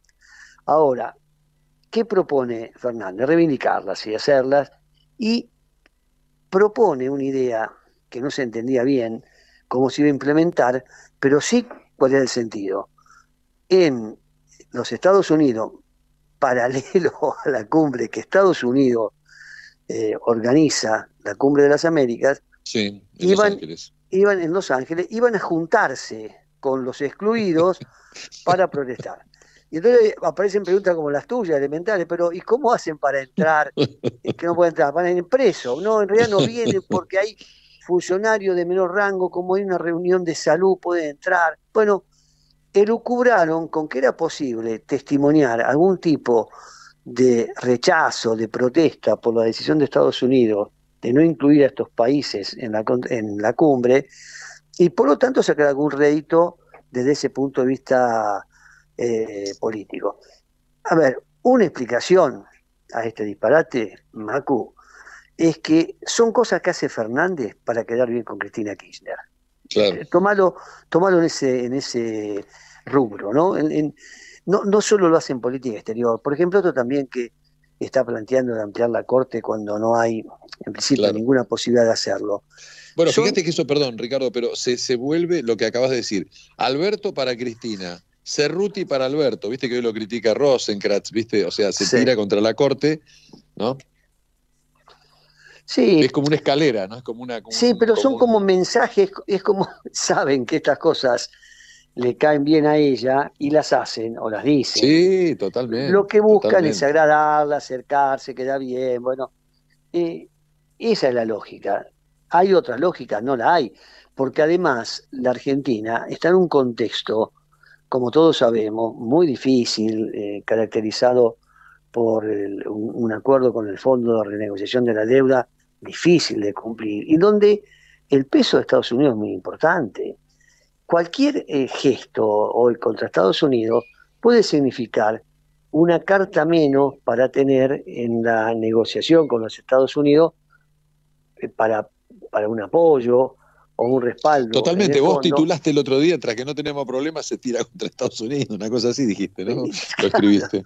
Claro, y, y además están ahora ellos planteando lo peor que le puede hacer a Estados Unidos, que es en el lugar donde ellos te llevan, en su casa, donde te invitan, hacerles un lío, ¿no? Claro. Porque era el otro tema. Supuestamente que se hubiese hecho en Lima, que se hubiera, eh, o que se hiciera la, la, la, cumbre en, Bogotá. Bueno, pero se hace en Estados Unidos. No, bueno, inclusive no, eh, Estados Unidos nunca perdonó el tema de Mar del Plata, lo sintieron como una emboscada, ¿no? Sí, absolutamente, absolutamente. Por eso, eh, estas cosas que son como estudiantinas, si querés, son cosas que no, no. Estudiantina, ¿qué quiere decir? Es algo que no tiene ningún efecto, en serio, que, que, ayuda al país. Son, si querés, gestos que pueden ser rescatados o incluso eh, elogiados por, por, la propia tribuna, gestos por la tribuna, fulbito, no, no son otra cosa. Ahora, hay un costo, que es el costo de que él ha perdido eh, lo que todos vemos que ha perdido, que es eh, credibilidad, que es seriedad, ¿no? Su, su, imagen negativa muy superior a la positiva, etcétera. Claro, por, porque, a ver, uno puede ir hacia un lado o hacia otro, no puede estar todo el tiempo yendo hacia un lado y hacia otro. Tiene que elegir, ¿no? Claro. Ricardo, recién fuiste contundente. Yo tenía preparado, pensado hacerte esta pregunta porque hay veces que lo escucho a Alberto y digo, che, no estarán de acuerdo con Cristina y nos están haciendo creer que están, peleados. Pero dijiste, vos es contundente, él habla para quedar bien con Cristina. Ahora, este Alberto que nosotros lo teníamos criticando a Cristina, un tipo de centro, aunque haya estado con, con, Kirchner, uno lo veía después en la, cuando se fue del gobierno, medio centro derecha, si querés, ya había tenido su paso por, por, eh, por el Partido Caballo, etcétera, ¿no? Ahora digo, cuando, cuando hace esas incursiones de, izquierda, ¿no será que es el tipo de izquierda? ¿Cómo lo ves a eso vos? Puede ser. Eh, en realidad, a ver, Alberto le dice a, cada uno lo que quiere, lo que quiere oír. Claro, eso también. Él, en eso procede con una especie de oportunismo muy, muy, muy claro, ¿no? Cada vez que, a ver, recibió a los Moyano y dijo que eran no solamente los mejores dirigentes argentinos, sino una familia ejemplar. Bueno, sí, sí, sí, sí, sí, tal, tal, tal y, Y, y, tenés llenos de, ejemplos parecidos a ese. Él es una persona que no, no. A ver, él ha hecho elogios de esta corte, incluso de Rosencrantz, yo recuerdo, cuando estaba, cuando era candidato un poco antes, muy claros, ¿no? A ver, eh, cualquiera que google va a encontrar a Fernández elogiando a estos de la Corte que ahora dicen las peores cosas. ¿Y, qué, ha, habido entre una cosa y la otra?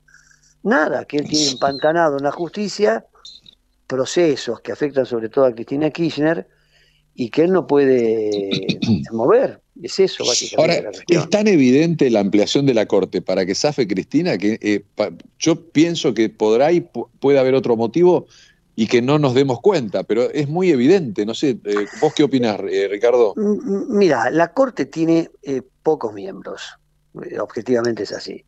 Son, eh, como sabés, cuatro por, porque la Hayton Sí. renunció el año y por lo tanto es una cantidad de miembros perfectamente posible de ser ampliada. ¿no? Si vos decís un funcionamiento de una corte moderna podría incorporar más eh, miembros, sí, claramente. De esos cuatro, el 75%, es decir, tres de los cuatro, han, en- en- digamos, han formado un bloque que es claramente independiente del gobierno Claro. y que el gobierno El no que, puede el que está fuera de ahí es Lorenzetti, ¿no? Lorenzetti, que es otro, eh, que es un juez que tiene, eh, que habla con, con- con- con Fernández y que tiene eh, una posición, si querés, equidistante, pero que puede hacer cosas para, para, para el gobierno. Es, es su manera de, de operar, sobre todo con Diego Molea, que es el representante, eh, que es el rector de el Zamora, fue presidente del Consejo de la Magist- de la Magistratura. Bueno, ahí hay entonces que el 75% de los miembros de la Corte no le responden al gobierno. El gobierno lo que busca con estas cosas eh, es tentar a, a los gobernadores de la oposición con una oferta de incorporar representantes de la oposición a la Corte para diluir el poder que tiene este 75%, Claro. es decir, para diluir el 75%. Ese es el objetivo.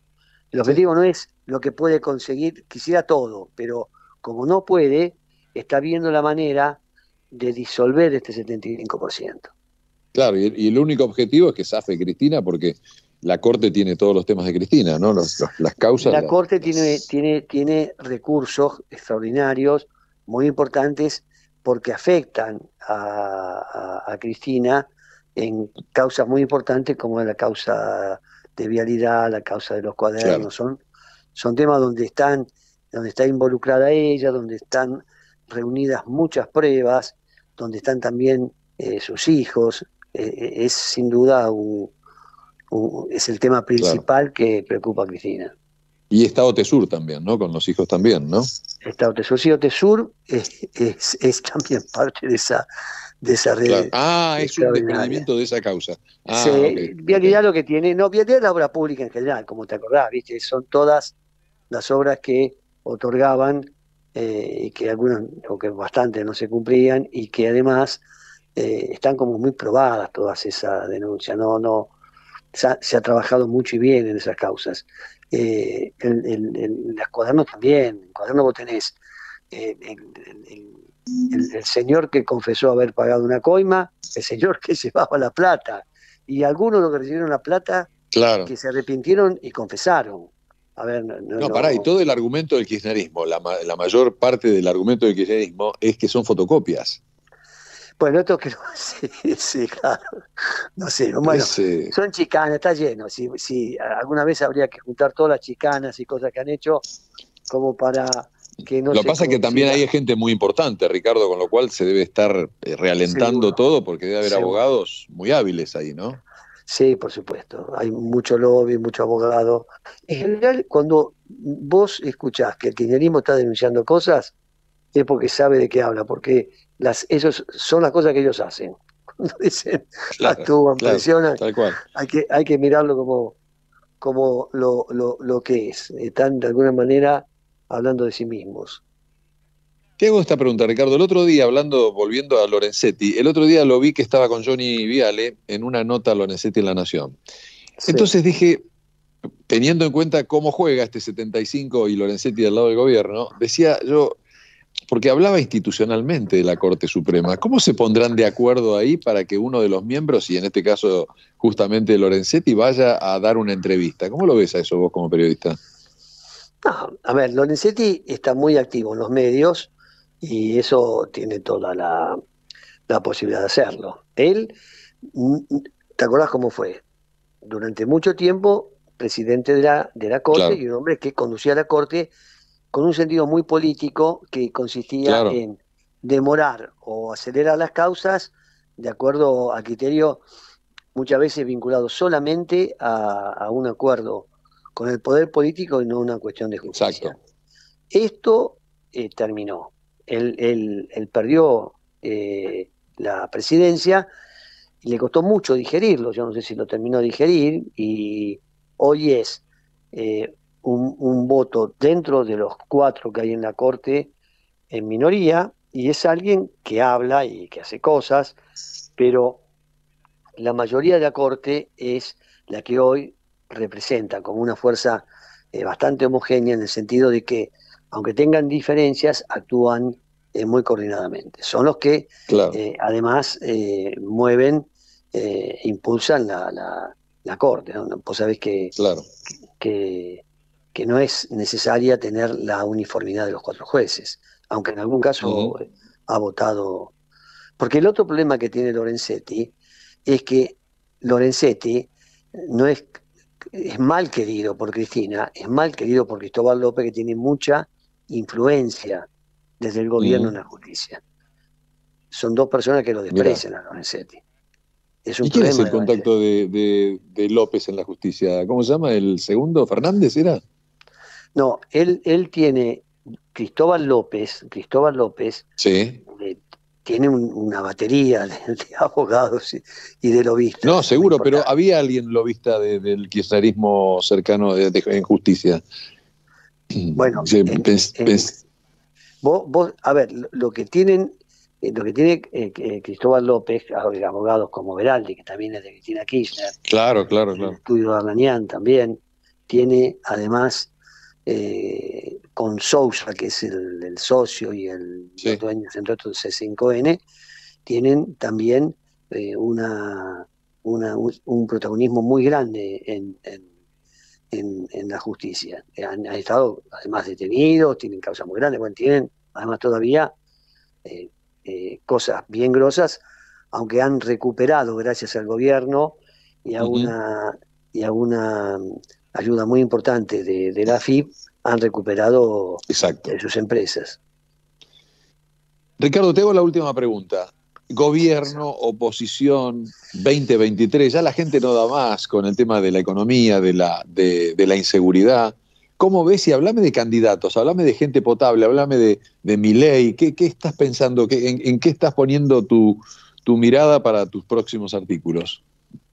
Mira, le, falta mucho. Eh, ahora estamos recién eh, viendo los que se, se ofrecen o, o ya están en la cancha. Falta mucho. Porque la, la realidad es que en, en una, eh, más en un país como este, hablar de un año y medio de una elección, aunque en la práctica sea me- menos de un año, porque por un lado está los proce- el proceso de, de las PASO y por otro lado en muchísimas provincias hay elecciones anticipadas, como vos sabés, ¿no?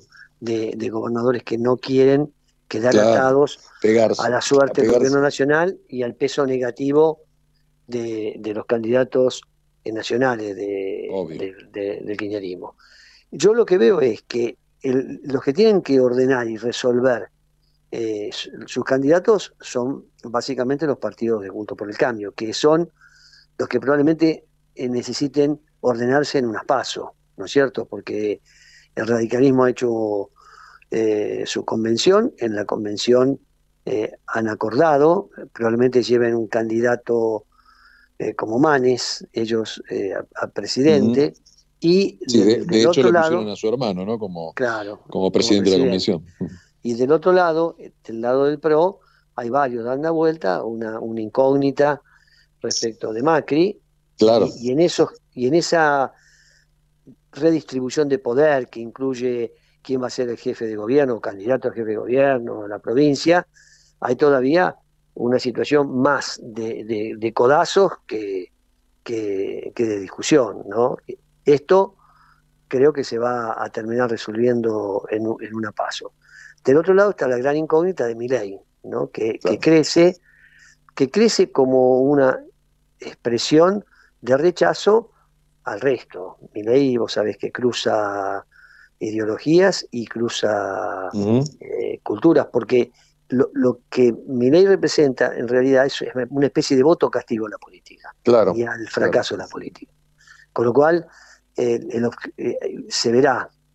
mi ley es el que tiene como menos sólida su base de sustentación, pero también es el que más puede crecer, el más, el más elástico, y por lo tanto, los errores que comete el gobierno y los que eventualmente cometa la oposición, si es que en esta disputa de poder interno eh, termina no rompiéndose, pero sí desangrándose, seguramente el beneficiario de esa situación sea Milei, que aspira a llegar al balotaje. Con lo cual creo que está abierta, están abiertas todas las posibilidades, nadie sabe.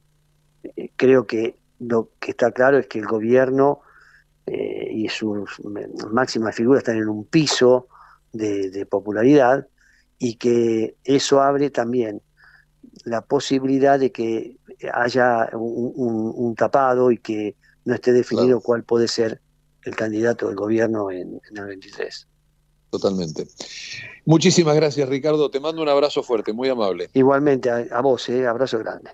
Gracias. El señor Ricardo Roa, de Clarín, aquí con nosotros. Vamos con la última pausa que tenemos del programa y enseguida volvemos con eh, Fernando Garabato de BDO, auditor, contador público y después viene Leo Piccioli. También vamos a ver si podemos meter a los dos en los últimos minutos.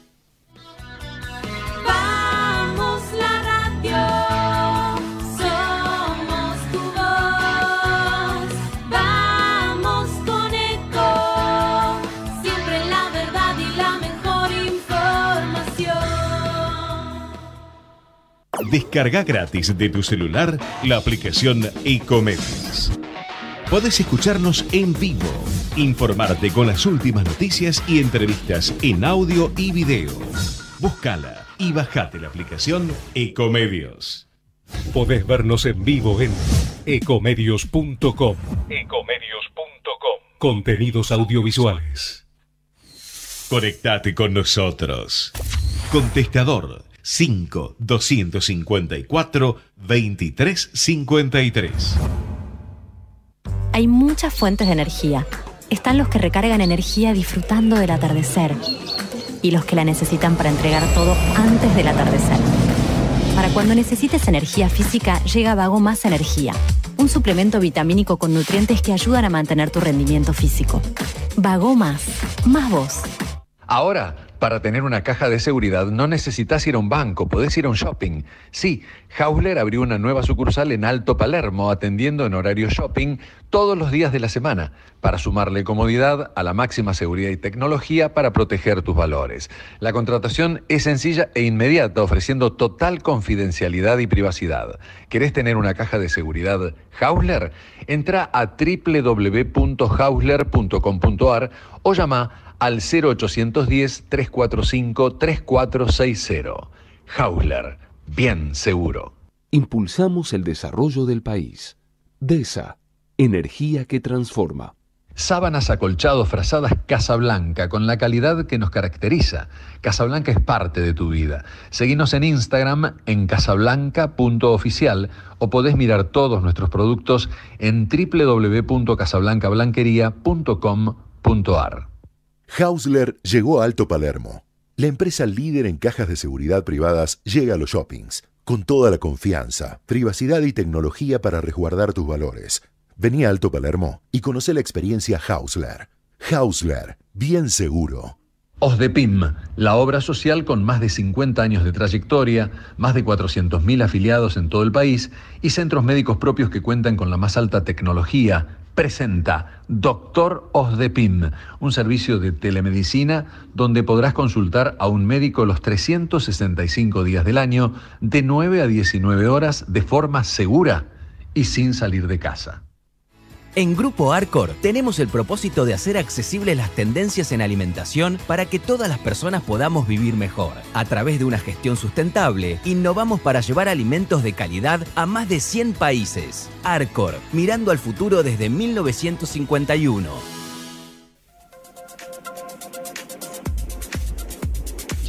Bueno, y ya estamos entrando en nuestros últimos minutos, la última media hora de programa, que tenemos menos.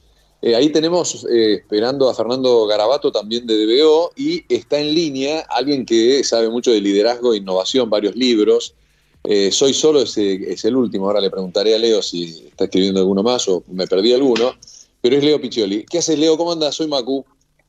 Macu, ¿cómo te va? Qué gusto hablar contigo. Para mí también, totalmente. ¿Cómo andas? ¿Cómo estás? Muy bien, todo muy bien, por suerte, con un poquito de, frío, ¿no? Pero todo muy bien. Sí, qué frío. Yo ayer me di una, una vacuna y después, como me sentí bien todo el día, me fui al gimnasio a correr y ahora está, ahora estoy pagando un poquito las consecuencias. Eh, hay que cuidarse, sí, sí, sí. Uno se olvida. Hay que Escúchame, te hago esta pregunta. El otro día leía a alguien que seguramente ustedes se conocen y se, se deben leer mutuamente, que es Andrés Hatum, y hablaba, Andrés, o un artículo de La Nación que escribió, y hablaba sobre los cambios, bueno, lo de lo que siempre escribe Andrés, ¿no? Lo de los jefes, qué, tipo de jefes. ¿Qué, ves como grandes cambios después de la pandemia para acá, Leo? Eh, primero, Andrés es un campeón, campeón y tiene un estilo súper, súper divertido, disruptivo que, llama la atención. Lo que veo con, con, los jefes es un aprendizaje, un poco de aprendizaje, menos del que me gustaría, pero más del que había, con respecto a que no estamos más en el siglo XX, en esto de acá se hace las cosas como yo digo porque soy el jefe. Eh, el, mundo cambia tan rápido que los jefes nos quedamos atrás, nos quedamos, no, sabemos lo que está pasando y entonces tenemos que ser un poco más humildes, cada día un poco más humildes, escuchar más a la gente y darle lugar a los, a los pibes, ¿no? O sea, a veces eh, preguntar, o sea, decir, che, ¿cómo harías esto?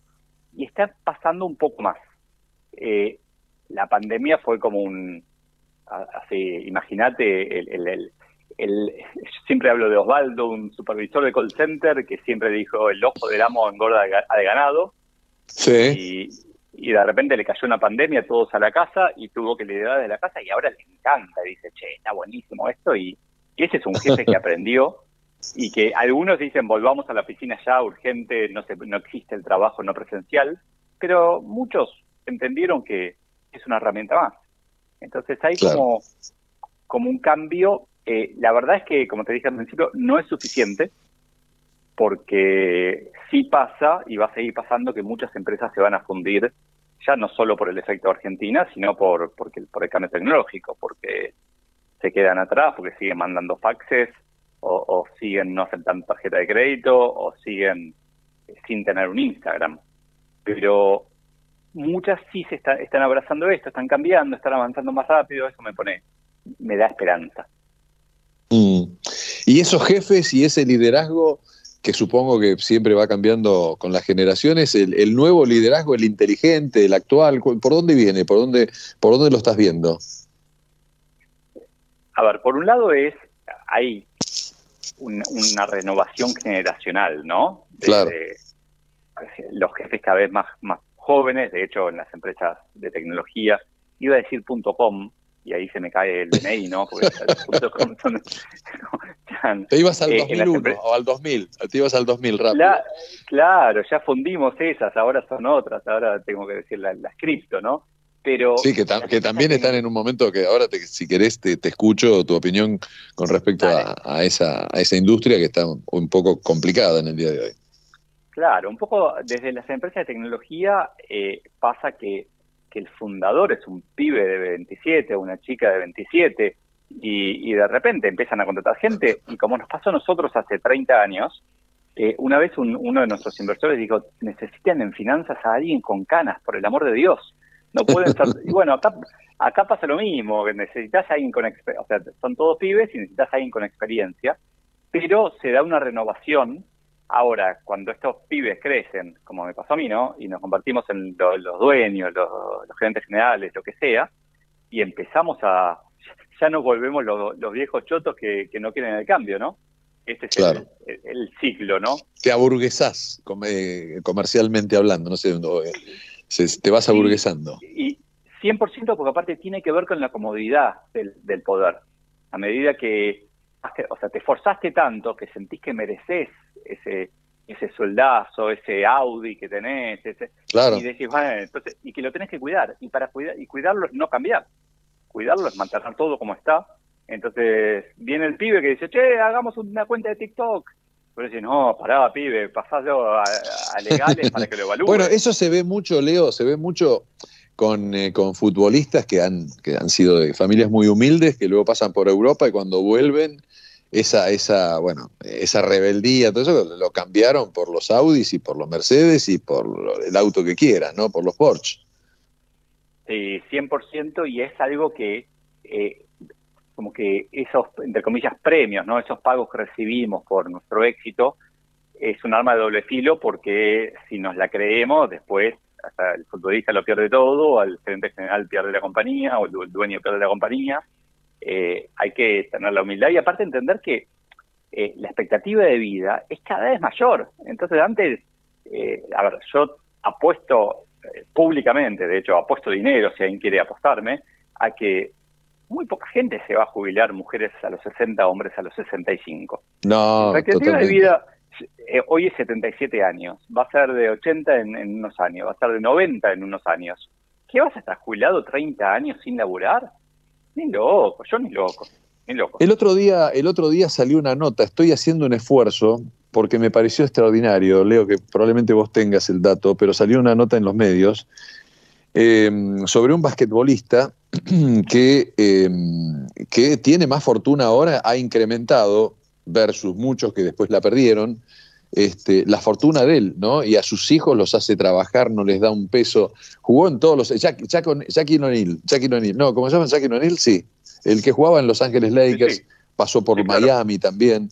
Eh, bueno, ahora me, voy a tratar de acordar, pero me pareció de una cabeza, ¿no? De cómo veía el, el futuro. Mira, una cosa que siempre me impactó es eh, Enrique Pinti, que falleció hace dos o tres meses, le escuché en una nota hace seis meses, en donde decía que él no había guardado dinero. Y Enrique era varias veces millonario, porque, digamos, tenía mucha cantidad de público que iba a sus salas y qué sé yo, pero él se gastaba toda la plata. Hay veces que esa previsión hay que tenerla en cuenta, ¿no? Para gente muy exitosa.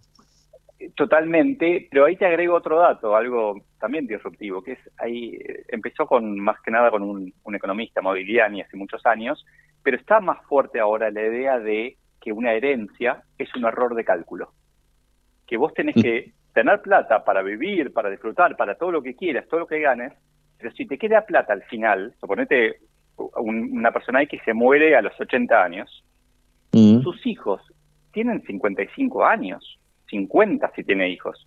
No tiene sentido que planee dejarle algo a los hijos de 50 años. Sus nietos, que les deja algo de los padres. Entonces, es como un desafío, que de hecho lo vengo estudiando hace un tiempo, porque claro, uno se interesa a esta edad por, esas cosas más, que, es cómo hacer para disfrutar del dinero al mango sin que te quedes sin plata antes de morirte, ¿no? Claro. Eh, que es es un desafío, es una cosa, mezcla de matemática, estadística y, apuestas, ¿no? Totalmente. ¿En qué andas trabajando, Leo? Me, intriga tu día a día. ¿En qué andas? ¿Qué cosas son las que hay que estar atentos en estos tiempos? Mira, en principio yo personalmente estoy, es medio secreto, pero voy a dar una charla TED ah, en unas semanas. Qué bueno. Así que sí, sí, pero eh, no quiero contarlo mucho porque viste esas cosas que estoy súper, súper tensionado con eso. ¿Qué son las charlas TED? Eh, sí, una charla TED eh, de, Me divierte mucho eso, me divierte mucho. Me gustaría dar una charla TED, un día te voy a llamar, para tener un tema ahí en la cabeza que te, lo voy a consultar. A ver, está buenísimo como autodesafío. Yo di una muy cortita hace tres años y fue, o sea, no te imaginas lo que, o sea, la, regresión a la escuela que tuve de tener que estudiar de memoria tres minutos 180 palabras. Fue una. ¿Cuánto era? ¿Cuánto duraba? ¿Tres minutos? Tres, minutos cinco segundos duró. Eh, no, no, absurdo, pero, pero fue un, o sea, fueron tres meses de laburo esos tres minutos. Eh, pero, digamos, ahora lo que me interesa mucho, a ver, yo me veo como alguien para abofetear un poco a las empresas y a, y las personas trabajando, para que abracen, abracemos el cambio, me incluyo porque a veces me pasa a mí que me, abrazo al pasado y no al futuro, para que abracemos el cambio, para que nos demos cuenta de que Muchachos, es mucho más lindo abrazar el cambio y tal vez fracasar que aferrarte al pasado y tener la garantía de fracasar. Y, veo muchos, muchas empresas que son blockbusters del futuro o Kodak del futuro, que, tienen la oportunidad de, seguir siendo líderes, de cuidar a su gente, de, ser exitosos, pero no la quieren abrazar por estos miedos, por estas inseguridades. Y, es como, me, apena, me duele, y lo que estoy tratando de hacer todo el tiempo es decirles, muchachos, cambiar, o sea, ante la duda, cambiar.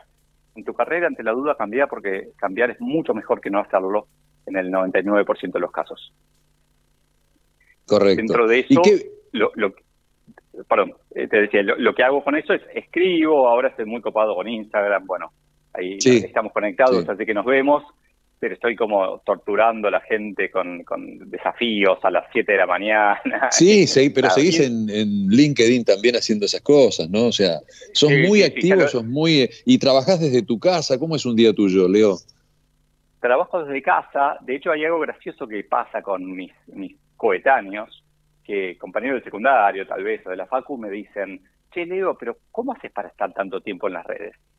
Y, no me terminan de entender que para mí las redes no es lo que hago en mi tiempo libre, sino que es mi laburo. Claro. Entonces, e, es, como eh, tu escritorio, bueno, como tu, tu micrófono, Macu, es tu laburo. Entonces, ¿cómo, ¿cómo haces para estar tanto tiempo escuchando la radio o haciendo radio? Y, eh, laburo de eso, vivo de eso. Bueno, a mí me pasa lo mismo. Mi forma de comunicarme mi medio de comunicarme fue primero LinkedIn, ahora está creciendo mucho Instagram y, Twitter. De hecho, le cuento a todos tus oyentes, no me sigan porque los voy a torturar, los voy a hacer pensar, los voy a desafiar. No me sigan. arroba Leo Piccioli con doble T. No me sigan. Eh, Decilo de nuevo, que no, te escuché. ¿Cómo, es la dirección? arroba Leo Piccioli, Piccioli con doble C les ruego por favor que no me sigan y se cómo esto funciona. Porque te torturo, te torturo. claro, es, que alguien lo tiene que hacer, porque lo que veo también ahí en las redes muchas veces es que está todo, es todo, todo lindo, todo positivo, todo, o todo quejas, pero poca gente te hace pensar. Y, y no todos quieren pensar, ¿no? Muchos entramos a Instagram a, a ver cosas lindas, a ver qué está comiendo. Instagram es eso, Twitter no, Twitter es más, es más, es más de, pelea, pero Instagram es más divertido, más relajado, más de mostrar. Bueno, viste, ayer me decía, ayer me decía una amiga, yo hablaba por teléfono y me decía, pero yo no entiendo este, esa gente que este, va a comer y saca esa foto y todo, y yo decía, ese soy yo. claro, pero, pero aparte, vos moriste de risa, pero hice un curso hace un par de años de cómo sacarle fotos a la comida. Eh, hay como ah, a los demás. Y son pavadas y, después dice bueno la conoces a Dani a mi pareja hice un curso de cómo sacarle fotos a ella. Eh, es como y pero eh, si te gusta hay un montón de cursos. Eso es una cosa maravillosa que también estoy considerando estoy viendo de dar un curso online ahora dentro de poquito. Todavía no lo tengo todo cerrado pero probablemente lo haga. Pero hay tantos cursos online tan Sí, o también, escúchame, están volviendo, Leo, o no sé si están volviendo, si se, es lo correcto, o ya están. Em, yo había hablado antes de, la pandemia, me había llamado la USAL, la Universidad del Salvador, que quiero mucho porque me dieron una beca para estudiar mis hijos, ahí los dos más chicos.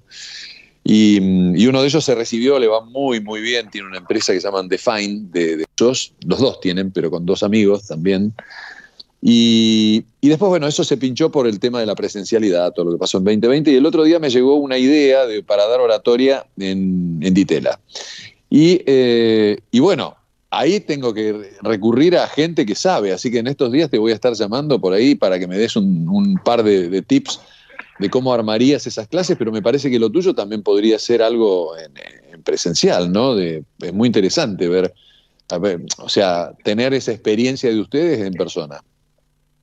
Totalmente. El, tema es también que con la situación del país, yo voy a estar mucho más contento, por dos motivos, mucho más contento haciendo algo virtual, en donde... Claro, bueno, porque es más... De claro, claro, uno de Uruguay está a la par que uno de Argentina, eh, pero aparte hay otra cosa más. Acá, esta es una opinión y, tal vez alguien me odia por esto también.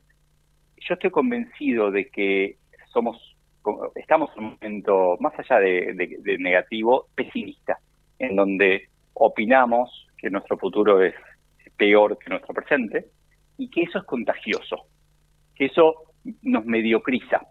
Me pasó, nos fuimos de vacaciones hace 10 días, volvimos hace 10 días de, afuera, y, lo que nos pasa afuera que de hecho es casi, casi terapéutico, nos pasa que de repente decimos, che, las cosas pueden funcionar. Che, pero estas rayitas del piso en, en las calles son para que los autos no se crucen, la gente cumple las reglas y, las empresas crecen y, se prueban cosas nuevas y se funden, pero después hacen otra. Entonces, creo que exponernos a, gente de otros países, por lo menos en lo mío, ¿no? en lo que es liderazgo, negocios, emprendimiento, nos, nos nutre, nos hace bien, porque es todo tan, eh, como que acá nos bajoneamos enseguida, tal vez tiene, alguna vez alguien me dijo, un, brasileño me dijo, no, porque pensá cuál es la, la música entre comillas nacional de Argentina, el tango. El tango, sí, claro. Es triste, es tristón, es tristón. Claro, y, y, pensé en Brasil, en Brasil estamos con las sábanas, no sé, bailando, felices, ahí ustedes están llorando la pérdida del ser amado. Eh, pero no sé si es eso o, algo algo más en la idiosincrasia o si es algo momentáneo, pero a mí me gusta esto de eh, aprovechar la tecnología para, para, para mejorar ese... bueno, los grandes emprendimientos de los últimos tiempos que yo vengo hablando con muchos, muchas te diría, son la mayoría son mujeres, de decoración, arquitectas y eh, huertas y todo eso, están teniendo un gran éxito, especialmente decoración. Hay chicas que con la decoración, yo tengo 20, 30 cuentas que te podría decir, por ponerle 20, que son maestras de la facturación. Les va bárbaro y le dan trabajo a, a 30 personas, ¿entendés? Espectacular, espectacular y aparte es algo, eh, yo hago este juego siempre, viajaba 10, 20 años al pasado e imagínate esa situación, era imposible. Entonces, si, si eso era imposible, ¿qué va a pasar en 10 años? Algo que hoy no nos podemos imaginar y, está buenísimo. Es como otro motivo para abrazar el cambio, que es que eh, no sé si, si, es cripto o si es alguna otra cosa, pero hay algunas de las cosas que se están creando en este momento son cambios dramáticos para dentro de 10 años. Claro. Eh, esos cambios dramáticos, bueno, te los voy a preguntar en otro momento, porque te quería, quería aprovecharte, Leo, para. Recién hablé de decoración y de lo de las chicas de Instagram.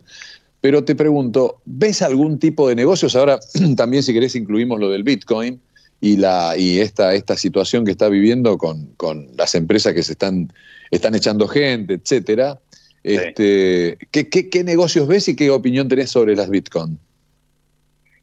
Primero te diría... O criptomonedas, no sé. Sí, sí, cualquier cosa que parezca demasiado buena para ser verdad, es demasiado buena para ser verdad o sea, es mentira. Entonces, tanto como, como inversor, si alguien te promete 20% de rentabilidad mensual o anual en dólares, no te lo está prometiendo, no, no. O sea, es, una apuesta. También como empleado, hace poco me escribió alguien que, había dejado una carrera de, de, esas corporativas para meterse en una de estas fintech que, que acaba de echar gente y a esta persona la echaron hace 10 días y, estaba bien, me, dijo, estoy contenta porque la verdad que me permitió salir de esa jaula de oro de la carrera que estaba demasiado cómoda y ahora replantearme y, elegir conscientemente. Pero ¿Estás hablando de Argentina? ¿Vive en Argentina? sí, sí, sí, Argentina. Argentina es un, es un gran es un gran centro de, exportación de, de, talento emprendedor, de talento de programadores, de un montón de, eh, ahora, lo que yo diría de negocios ahora, en general, te digo el, error a evitar, y de ahí se deduce lo que, lo que recomiendo. El error a evitar es meterte en donde no sabes. Entonces, la, la, clave para mí es mirar qué estás haciendo y mirar qué, o sea, por ejemplo, más como azúcar, tiene una voz de la, de la hostia. Eh, es famoso por ser locutor desde hace muchos años. bueno, ¿qué hay lateral afectado por la tecnología con esto. Y tal vez esto que decís de cursos de oratoria, ¿no? Claro. Eh, tal vez eh, es tratar de ver algo que no sea tan lejano, o sea, no es un salto heroico en donde eh, me voy a meter a vender criptomonedas, a hacer los pibes que... No, voy a vender guitarra, no. Claro, no, o sea, si nunca tocaste una guitarra, eh, dedícate un año a estudiar guitarra y, o hacete amigo de, conseguite un socio que sea un experto pero en general esas oportunidades, los que son exitosos, lo hacen con algo que está al lado, como, como un paso o dos pasos de lo que haces habitualmente. Para, me cae para preguntarte, ustedes cuando vos estabas ya con, con Bilinky y con, ¿cómo es el socio? Eh, cuando sí. Eh, ¿Cómo se llamaba? ¿Se llama? Freire. Ah, sí, Andy, Andy, claro. Eh, vos ya estabas con ellos en Snable, ¿no? Sí, sí, yo, más allá de que, hice el secundario con Andy, Santi lo conozco de los 20, eh, entré a OfficeNet formalmente a los OfficeNet, meses claro. de OfficeNet. Sí, sí, sí, sí. sí. Yo vendía, vendía papel de fax, imagínate. Para, para eso año 97, ustedes ya empezaron a ver que se venía otro mundo, que es un poco lo que estás planteando vos ahora, che, va a haber cambios en siete años profundos. Claro, o sea, en el 97 vendíamos productos que ya veíamos que iban a desaparecer, los vendíamos por teléfono y empezamos a venderlos por internet enseguida, porque también veíamos que la venta por, por teléfono no tenía tanto, tanto futuro. Y, bueno, todo eso fue pasando y vendíamos disquetes y tuvimos que dejar de venderlos en formularios continuos. Eh, el, el, eso de alguna manera, fíjate de vuelta lo que te decía antes, a mí me forzó a reinventarme una y otra vez en mi carrera y en la compañía que lideraba. Entonces, hoy lo que hago es, eh, es eso mismo que hacía antes para, para mí, lo hago ayudando a otros. Eh, y es, es esa coherencia, es, eh, si, si de afuera pareces un paracaidista haciendo lo que haces, y tal vez lo estás haciendo, tal vez tenés que ir más despacito, porque muchas veces nos ponemos ansiosos y decimos, ah, yo quiero no, yo quiero tener una empresa. No, para despacito. Tengo un amigo que está haciendo otra fintech así relacionada con cripto y, que el pibe es un bocho brillante, ya creó dos empresas, las vendió, le fue súper bien, pero en vez de empezar la, empresa nueva que quería hacer, se dedicó ocho meses full time a estudiar el tema. Pero estudiar el tema a un nivel en donde ¿Viste esas cosas? ¿Viste cuando te metes en internet y haces doble clic en los links y podés ir? Sí, sí, sí, sí, Hasta que no estuvo seguro no arrancó. Claro, que estuvo seis, siete meses estudiando, como, como preguntando, a, preguntando a expertos, tomando café, pero también leyendo, leyendo, leyendo, leyendo. Y hoy se anima, e igual es un riesgo con toda esa inversión que hizo. Pero son cosas, y ahí te, te contesto el cripto, son cosas complicadas, son cosas que que si no te encanta programar, pero además te encantan las finanzas, y si no le vas a dedicar mucho tiempo, y la verdad que hace poquito pasó con, con una, una, una de estas monedas eh, atadas al dólar, el combo de Terra y Luna, con dos criptomonedas, pasó que se hicieron pelota y todos los que habían apostado eso perdieron 93% del capital. Sí, sí, sí. Leo, me están avisando ahí que ya estamos medio en el borde del tiempo, así que te quiero agradecer, como siempre, la atención de esta charla. Y bueno, es muy interesante todo, todo siempre lo que nos, nos comentás. Un placer, Macu. Te mando un abrazo y cuando quieras charlamos de vuelta. Totalmente. Un abrazo, Leo. Otro, chao, chao. Chao, chao. Leo Piccioli, ahí está, este, hablando con nosotros. Gonza, querido, nos quedan dos minutos. Bueno, Macu, sí, ya estamos cerrando. Qué bueno. Bueno, ahí estaba, que nos quedó afuera Fernando Garabato, que lo vamos a hacer la semana que viene. y también vamos a hacer la semana que viene al doctor, ¿no? Al doctor, al psiquiatra, Mega. Sí, sí, seguro también va a quedar para la semana que viene, pendiente. Claramente porque el tema de la salud mental va a estar siempre en el candelero, ¿no? Hasta que no se, se haga una reforma o se haga un cambio, va a estar siempre en el candelero. Me había estudiado un poco la carrera de Mega, que es psiquiatra, estuvo 30 años y renunció, o sea, renunciante, o sea, se fue de la Corte Suprema de Justicia, era el, eh, como era eh, psiquiatra forense y eh, profesor universitario, también muy interesante Andrés Mega, que seguramente lo vamos a tener la semana que viene hablando sobre la ley de salud que hay acá en la Argentina que dice que es un desastre. Ya lo viene diciendo hace varios años. Sí, sí, él lo viene diciendo hace un montón. Sí, sí, sí. Eh, siempre lo, remarca y en cualquier tema que, lo expresa, no solamente en temas como lo que pasó esta semana que pasó con, con, Chano, sino en, otras situaciones también lo remarca que la salud mental tiene que ser un cambio radical. Exacto. Bueno, nos estamos yendo, queda ahí un minuto, nos vamos a entregar un poquito antes. Eh, Gonza, querido, gracias por la atención. Y ahí estamos. Seguimos la semana próxima, nos vamos a encontrar acá en esta radio, en Ecomedios, espero estar bien, eh, a las 13 horas el próximo sábado. Perfecto, Marco, un abrazo grande. un abrazo, felicitaciones, muchas gracias a Gonza, Gonzalo Benítez Cruz, a Javier Martínez en la operación técnica, a esta radio que ya llevamos tres temporadas, creo, con esta. Así que mm, a toda la dirección de la radio y a todos ustedes que nos escuchan todos los sábados. Les mandamos un abrazo, muchas gracias. Saludos hasta el sábado próximo.